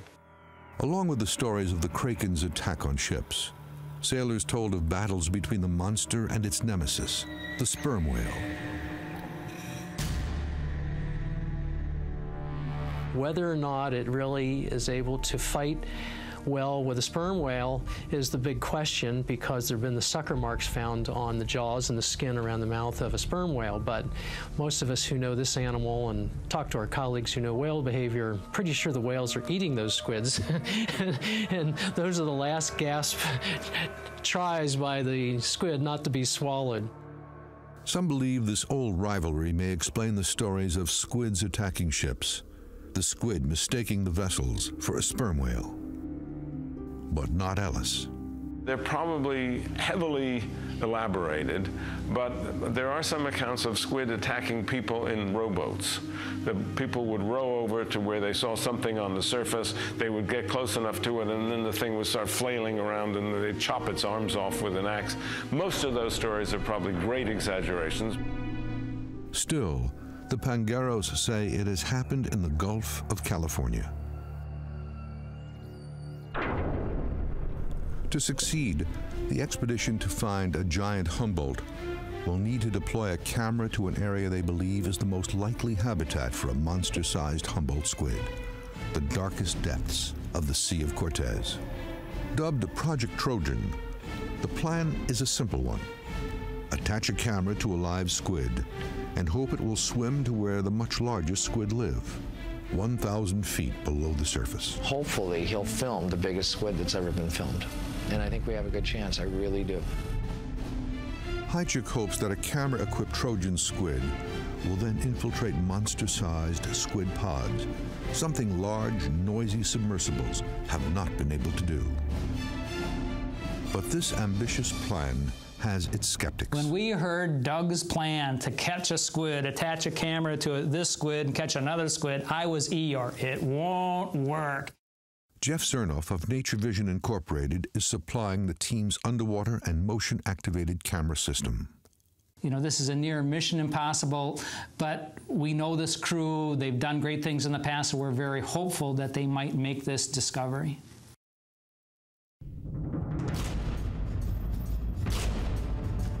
And we're still going to be trying to get uh, squids on jig so we can put the, the tag mounted camera on it, let it go, and hopefully see some really cool stuff. And any natural history filming we can get of the animals coming up. To find the squid pods, Cassell will recruit local fishermen and their boats as research vessels. A $1,000 bounty has been issued to any fisherman who locates an active pod of Humboldts. One challenge is that, unlike other marine life, squid are difficult to find using sonar. The composition of the squid is basically the same as seawater. It's basically the same density as seawater, and they have no bones. Dale Pearson is a survival specialist and team expedition leader. He has been diving for over 20 years. So the only thing you're going to get a radar bounce off of is their beak. So you're talking an eight foot squid, maybe has a beak, you know, that big. So it's going to look like a fish this big. To assist, the team has recruited the services of Humminbird, a company that makes sonars, depth sounders, and GPS devices for professional and amateur fishermen alike. For this expedition, Humminbird's engineers have developed a sonar device that will help the team detect squid. What we can do to an individual sonar unit to help be able to spot the squids as targets is to max out that unit by increasing the transmit gain and the receiver sensitivity so that you have the best opportunity of spotting the squids. And finally, to attach the camera, divers Pearson and Cassell will have to be in the water with the squid. After his first brush with the knife-sharp snapping beak of the Humboldt and the thousands of teeth inside its suction cups, Cassell began diving in self-designed chainmail armor. For this expedition, he wants something even stronger, a carbon fiber armor system even tougher than chainmail. He's enlisted the aid of Jeremiah Sullivan, a marine biologist and the inventor of the Neptunic shark suit. What's happening, man? Uh, I'm getting bit up by the squid and I need a little help on the armor. The problem is, is that the forearm areas. A beak can actually encompass my whole forearm, mm. and the bite pressure has actually caused damage to me. It can break my arm. Depending on what it is specifically you think that force might be, we can use the appropriate material for the job, keep it lightweight, make it as easy as possible for you to swim in it. One of the other problems that I'm having is that I'm filming the squid face on, and they're attacking the camera, and the camera in turn is hitting me in the chest. So I was wondering if there's any impact protection that we can develop. So you want to put an airbag in the chest of yeah. the thing? Why don't you come on in and we'll, we'll get some measurements and we'll get started. Sweet, thanks. thanks. Wingtip to wingtip, 20 inches. The suit will be constructed using a titanium composite material, able to withstand the powerful bite pressure of the squid's beak. Well, Jeremiah, thank you very much, dude. Great pleasure. Awesome. I hope it works out. You managed to address all the concerns that I had, but you also made it beautiful. This thing looks incredible. Now, with all the pieces in place, the expedition is ready to launch. Within 24 hours, they'll find themselves floating above a spot teeming with prospective specimens for Project Trojan. Okay, both divers, be advised, Sue is going in the water. But no one could have prepared them for what will happen next. It just all unraveled.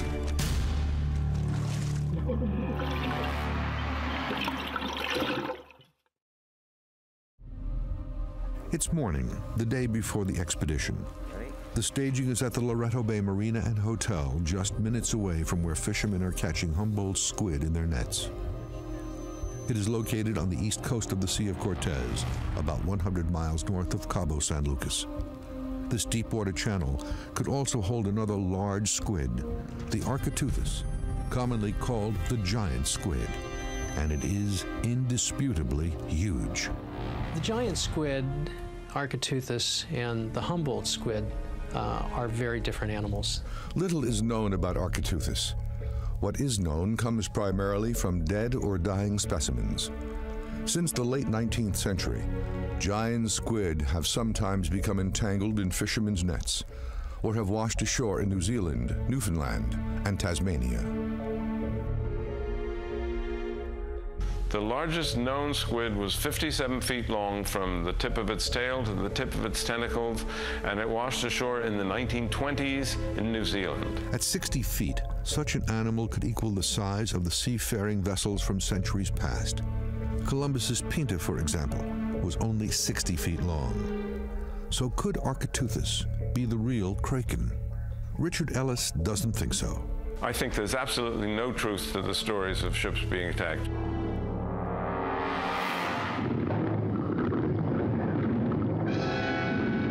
What of the stories of attacks on man? Stories of squids killing people are anecdotal at best. To date, there is not a known authenticated report of a fatal squid attack on a human.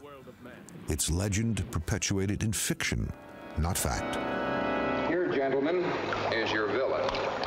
No biologist has ever seen a giant squid Architeuthis alive, so we don't know what they really do. However, there have been several recent discoveries. In 2004, researchers from the National Science Museum of Japan Association hooked a 26-foot Architeuthis, 3,000 feet deep, off Japan's Ogasawara Islands, the first to snap pictures of a living animal. And in February of 2007, a New Zealand fishing vessel in Antarctica's Ross Sea hauled in the largest live squid ever caught, a 33 foot, 1,000 pound species known as Mesonychoteuthis hamiltoni, or more commonly, a colossal squid, a giant comparable to Architeuthis. Mesonychoteuthis probably does not grow that long, but it's much, much heavier. The colossal squid's beak is the largest of any squid, and their eyes are the size of volleyballs.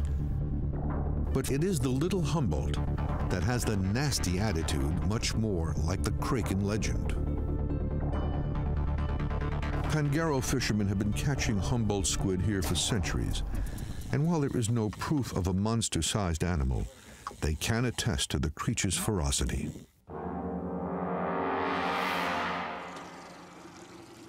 In 1997, fisherman Liberto Arbos Rodriguez Cabo claims he was attacked by a Humboldt squid. Liberto was bringing his lure back to the boat after a long day of squid fishing. Little did he know, a Humboldt was in hot pursuit. Cuando metió la mano para jalarlo, este animal lo tomó y le abrió la piel. Él tomó el cuchillo.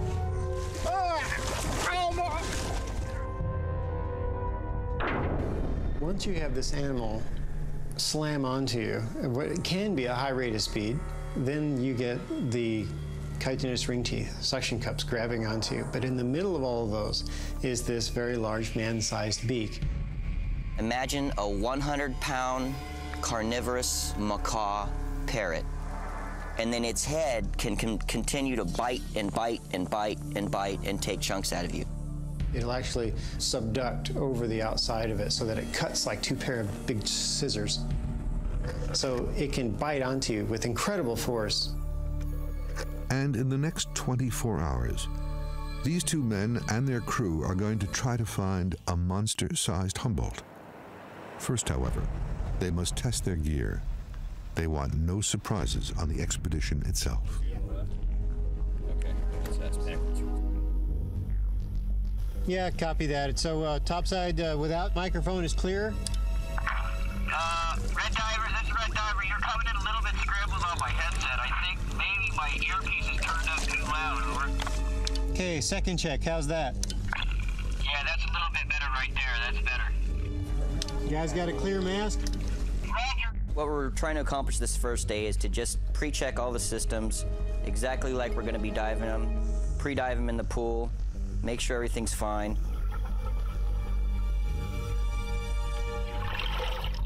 We had some little glitches, which is why we always do this. We, they're all fixed up, so everything's a go. Leah, I'm concerned about the storm. Can you tell me what the forecast is? This expedition is ready to launch, but news of an approaching hurricane has the crew on edge. Well, tomorrow we should start feeling the effects of it. We'll have some thunderstorms tomorrow, probably. And noon our time, it was 300 miles southeast of Cabo, and it's moving northwest. The hurricane itself has actually been pushing down on the water in the high pressure areas, and in the center of the eye, it's been pulling water up. The hurricane is expected to hit the Sea of Cortez in the next 24 hours. Nervous but undeterred, the crew heads out to their location.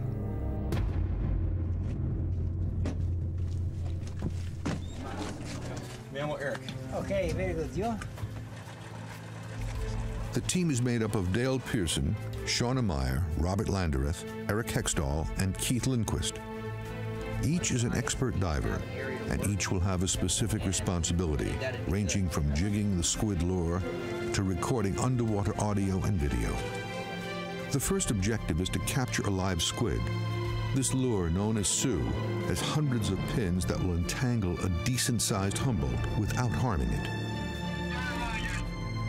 Is that thing ready to drop? Scott wants it in his hands. Okay, go. Jig's in the water.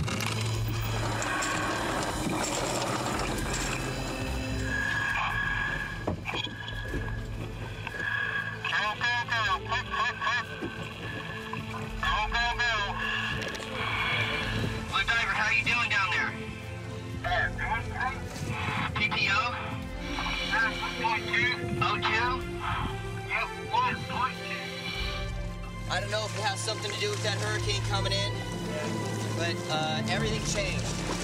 Everything changed under the ocean. We're drifting incredibly fast. It's hard to stay down. We're drifting so fast that it's just dragging us through the water like a couple of fishing lures. And there's some big thing down there swimming around us, staying just out of sight. I don't really know what it is. I got a thousand pounds of and 2,000 O2. They were saying we had like 15 squid or more right under the boat. By the time we geared up to get in the water, they're all gone. All gone. And then the squid that they had on the jig got away. Typically, will find its way off the jig because they're not stupid. They, if you give them enough time, they'll get off. And this one got off the jig. So now we're locating back pretty much in the same area that we got the first one. So far, the team's efforts have yielded disappointing results. But then, a break. Off to the right, which is them over there, and that's squid.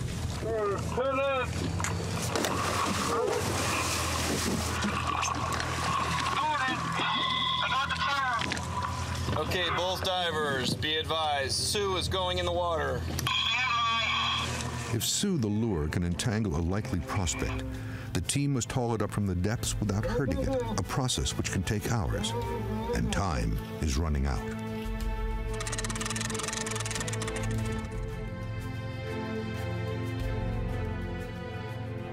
Both divers, be advised, we only have about 15 more minutes of light. They get some good shots of it. Uh, did you get some good shots of it, Scott? I always like to do another. Okay. The approaching hurricane is producing drastic changes in air pressure, causing the ocean around them to toss and churn violently.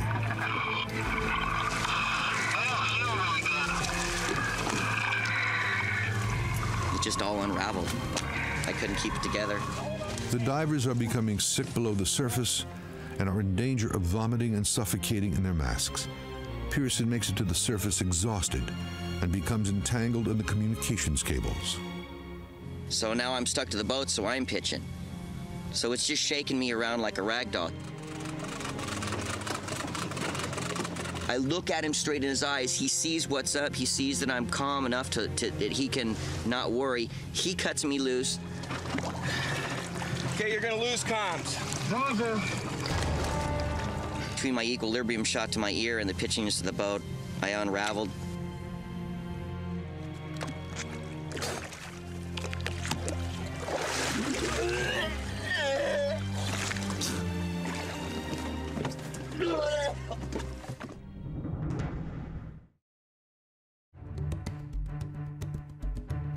Scott Cassell, Dale Pearson, and their expedition team have returned to the Sea of Cortez, about 11 miles from Loreto Bay, Mexico, in search for a monster sized Humboldt squid.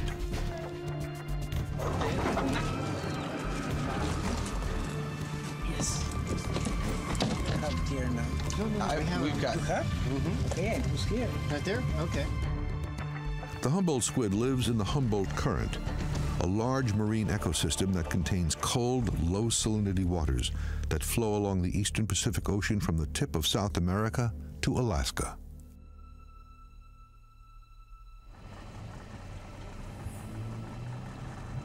Yesterday, their efforts were thwarted by rough seas and the elusiveness of their prey. Oh yeah, we'll pull it off, but you know what I mean? You're not gonna crack a home run the first time you step up to the plate. We're gonna need a few pitches, you know? For their protection against these dangerous animals, the divers are wearing 100 pound armor clad dive suits. In the 90 degree heat, they become cast iron ovens. On the job air conditioning system. A little bit of cold water on your brains. Always works good. They are also working against the clock. The heat is a harbinger of nastier weather to come. The hurricane is getting closer. As the minutes tick away, a fisherman finally catches a squid.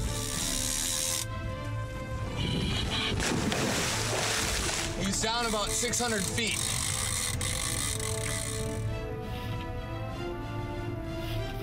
This one is too small to bear the weight of the one and a half pound camera, but it gives the team hope that they are in the right area. They start really freaking out. They do not like being in the top 20 feet of the water column. On top of that, you start swimming over by one. He's hooked on a jig. He's in the top 15, 20, 30 feet of the water column. And then you get this big black predator swimming over to him. And the first thing he does is just lose his mind and try to get away, shoot ink everywhere, and take off.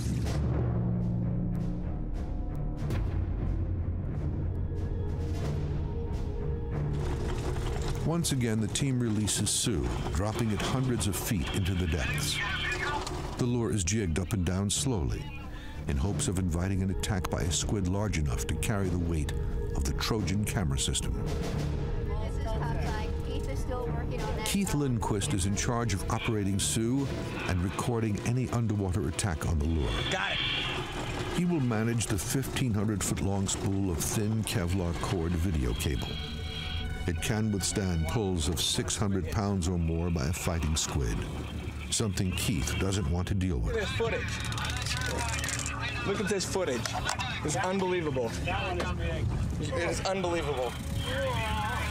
At 700 feet, Sue does the job.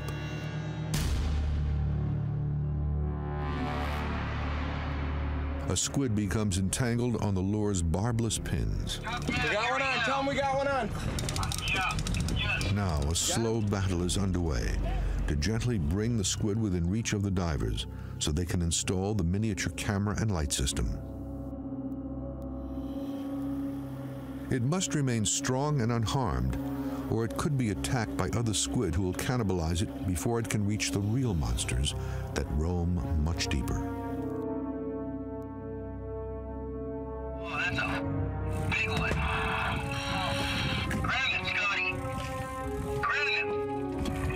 This one is a perfect specimen, five to six feet long and weighing approximately 200 pounds.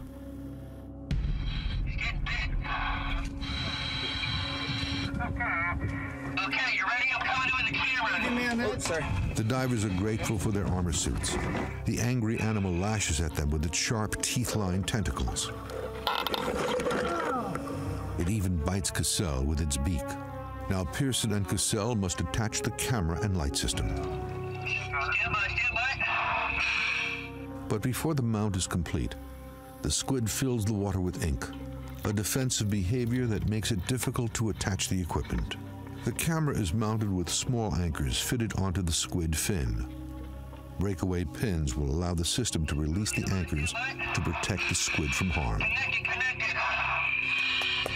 Squid on, squid on camera, All right, get ready. to- Get ready. Put this up on the seat there. Copy that. Congratulations. Lift it right up there. Yep. Look at the size of that thing.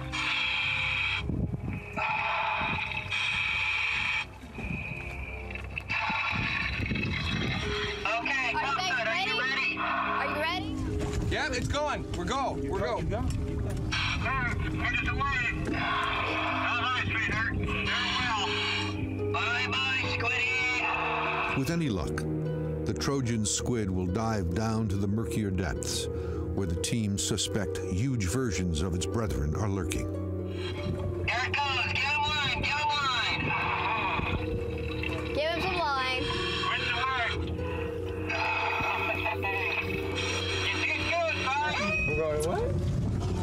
It's recording. That's your It's only job right now. It's recording.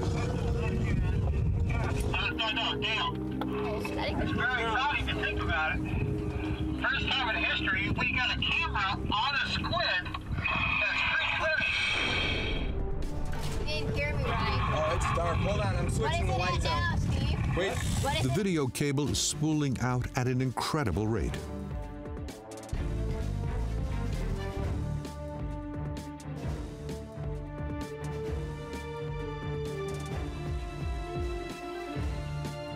Team watches as deep below, the Trojan squid's companions investigate the camera. Repeatedly, they bite the rubber enclosure. Their behavior seems to reveal a level of intelligence and curiosity often only attributed to mammals.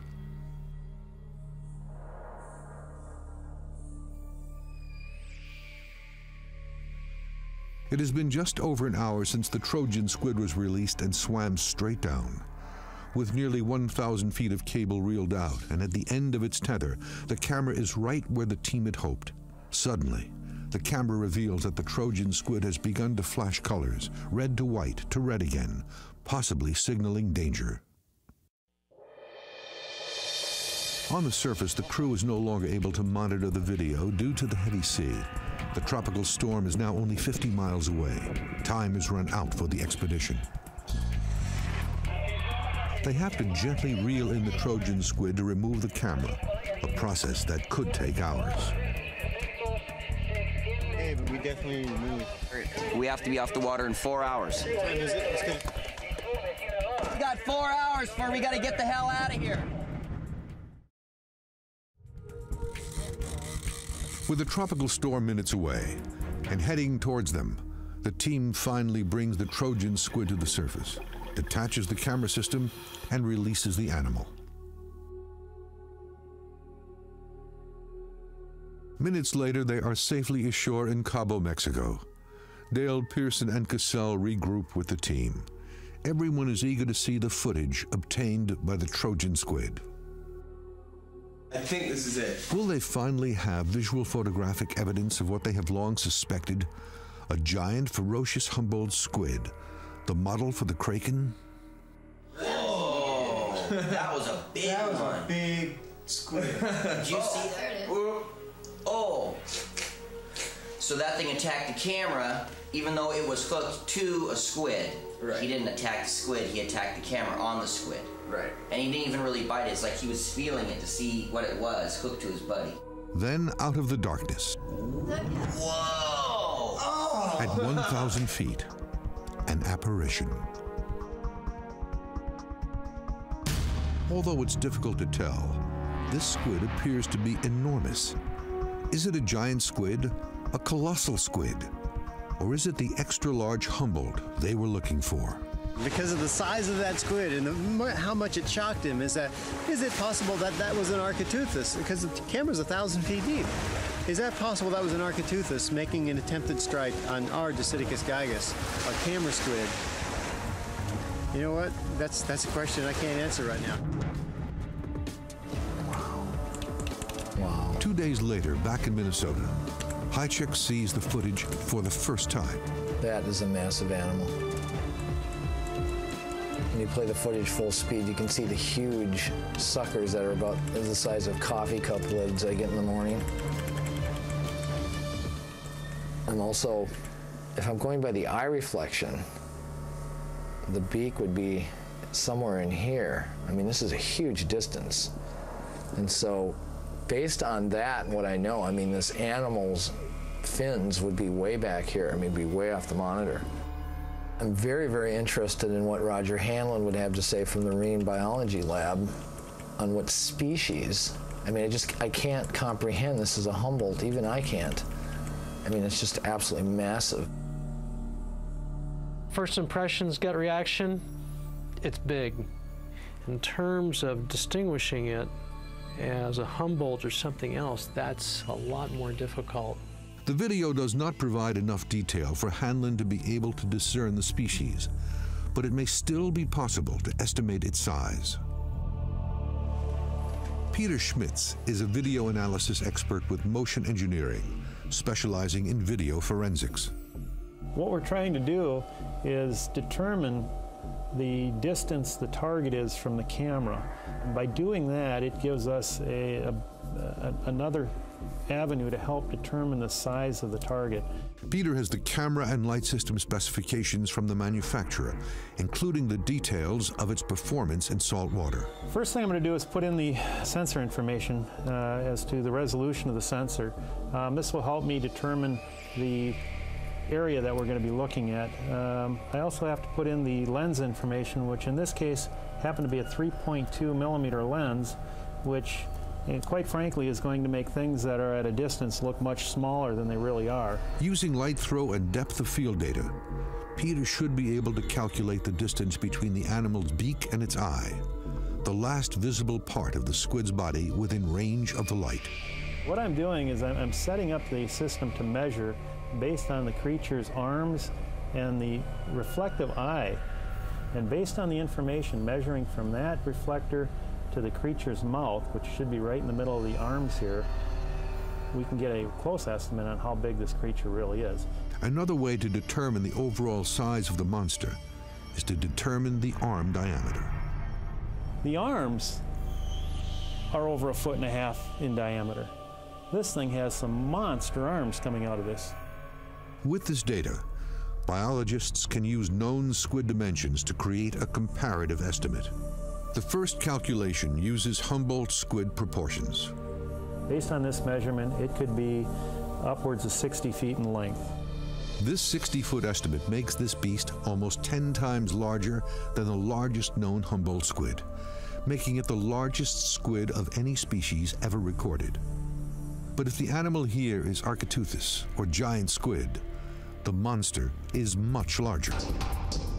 The morphology of Architeuthis and Humboldt are very similar, with one big exception. The Architeuthis squid's tentacles are three times longer. Schmitz estimates an overall length of 108 feet, roughly twice the size of the largest known Architeuthis, and the same size as the largest known animal alive today, the blue whale. These estimates have impressed even the expedition team. I have to admit, I was completely shocked by the final results and how big the squid that we filmed really was. It's always fun to me when you take people and high technology and you throw them in the sea and give them a mission to perform and see what comes out of it. Did this beast inspire the Kraken? History supports, at the very least, the possibility. And now this piece of visual evidence indicates that there is still much to learn about what lurks in the sea's depths. I have a great regret that we were cut short by the weather, the hurricane that happened. Uh, definitely gives us another reason to go back. So I'm hoping on the next expedition we can continue to make more discoveries. All I ask is that people look at the images that we collect and leave this with a childlike wonder about the sea and its secrets.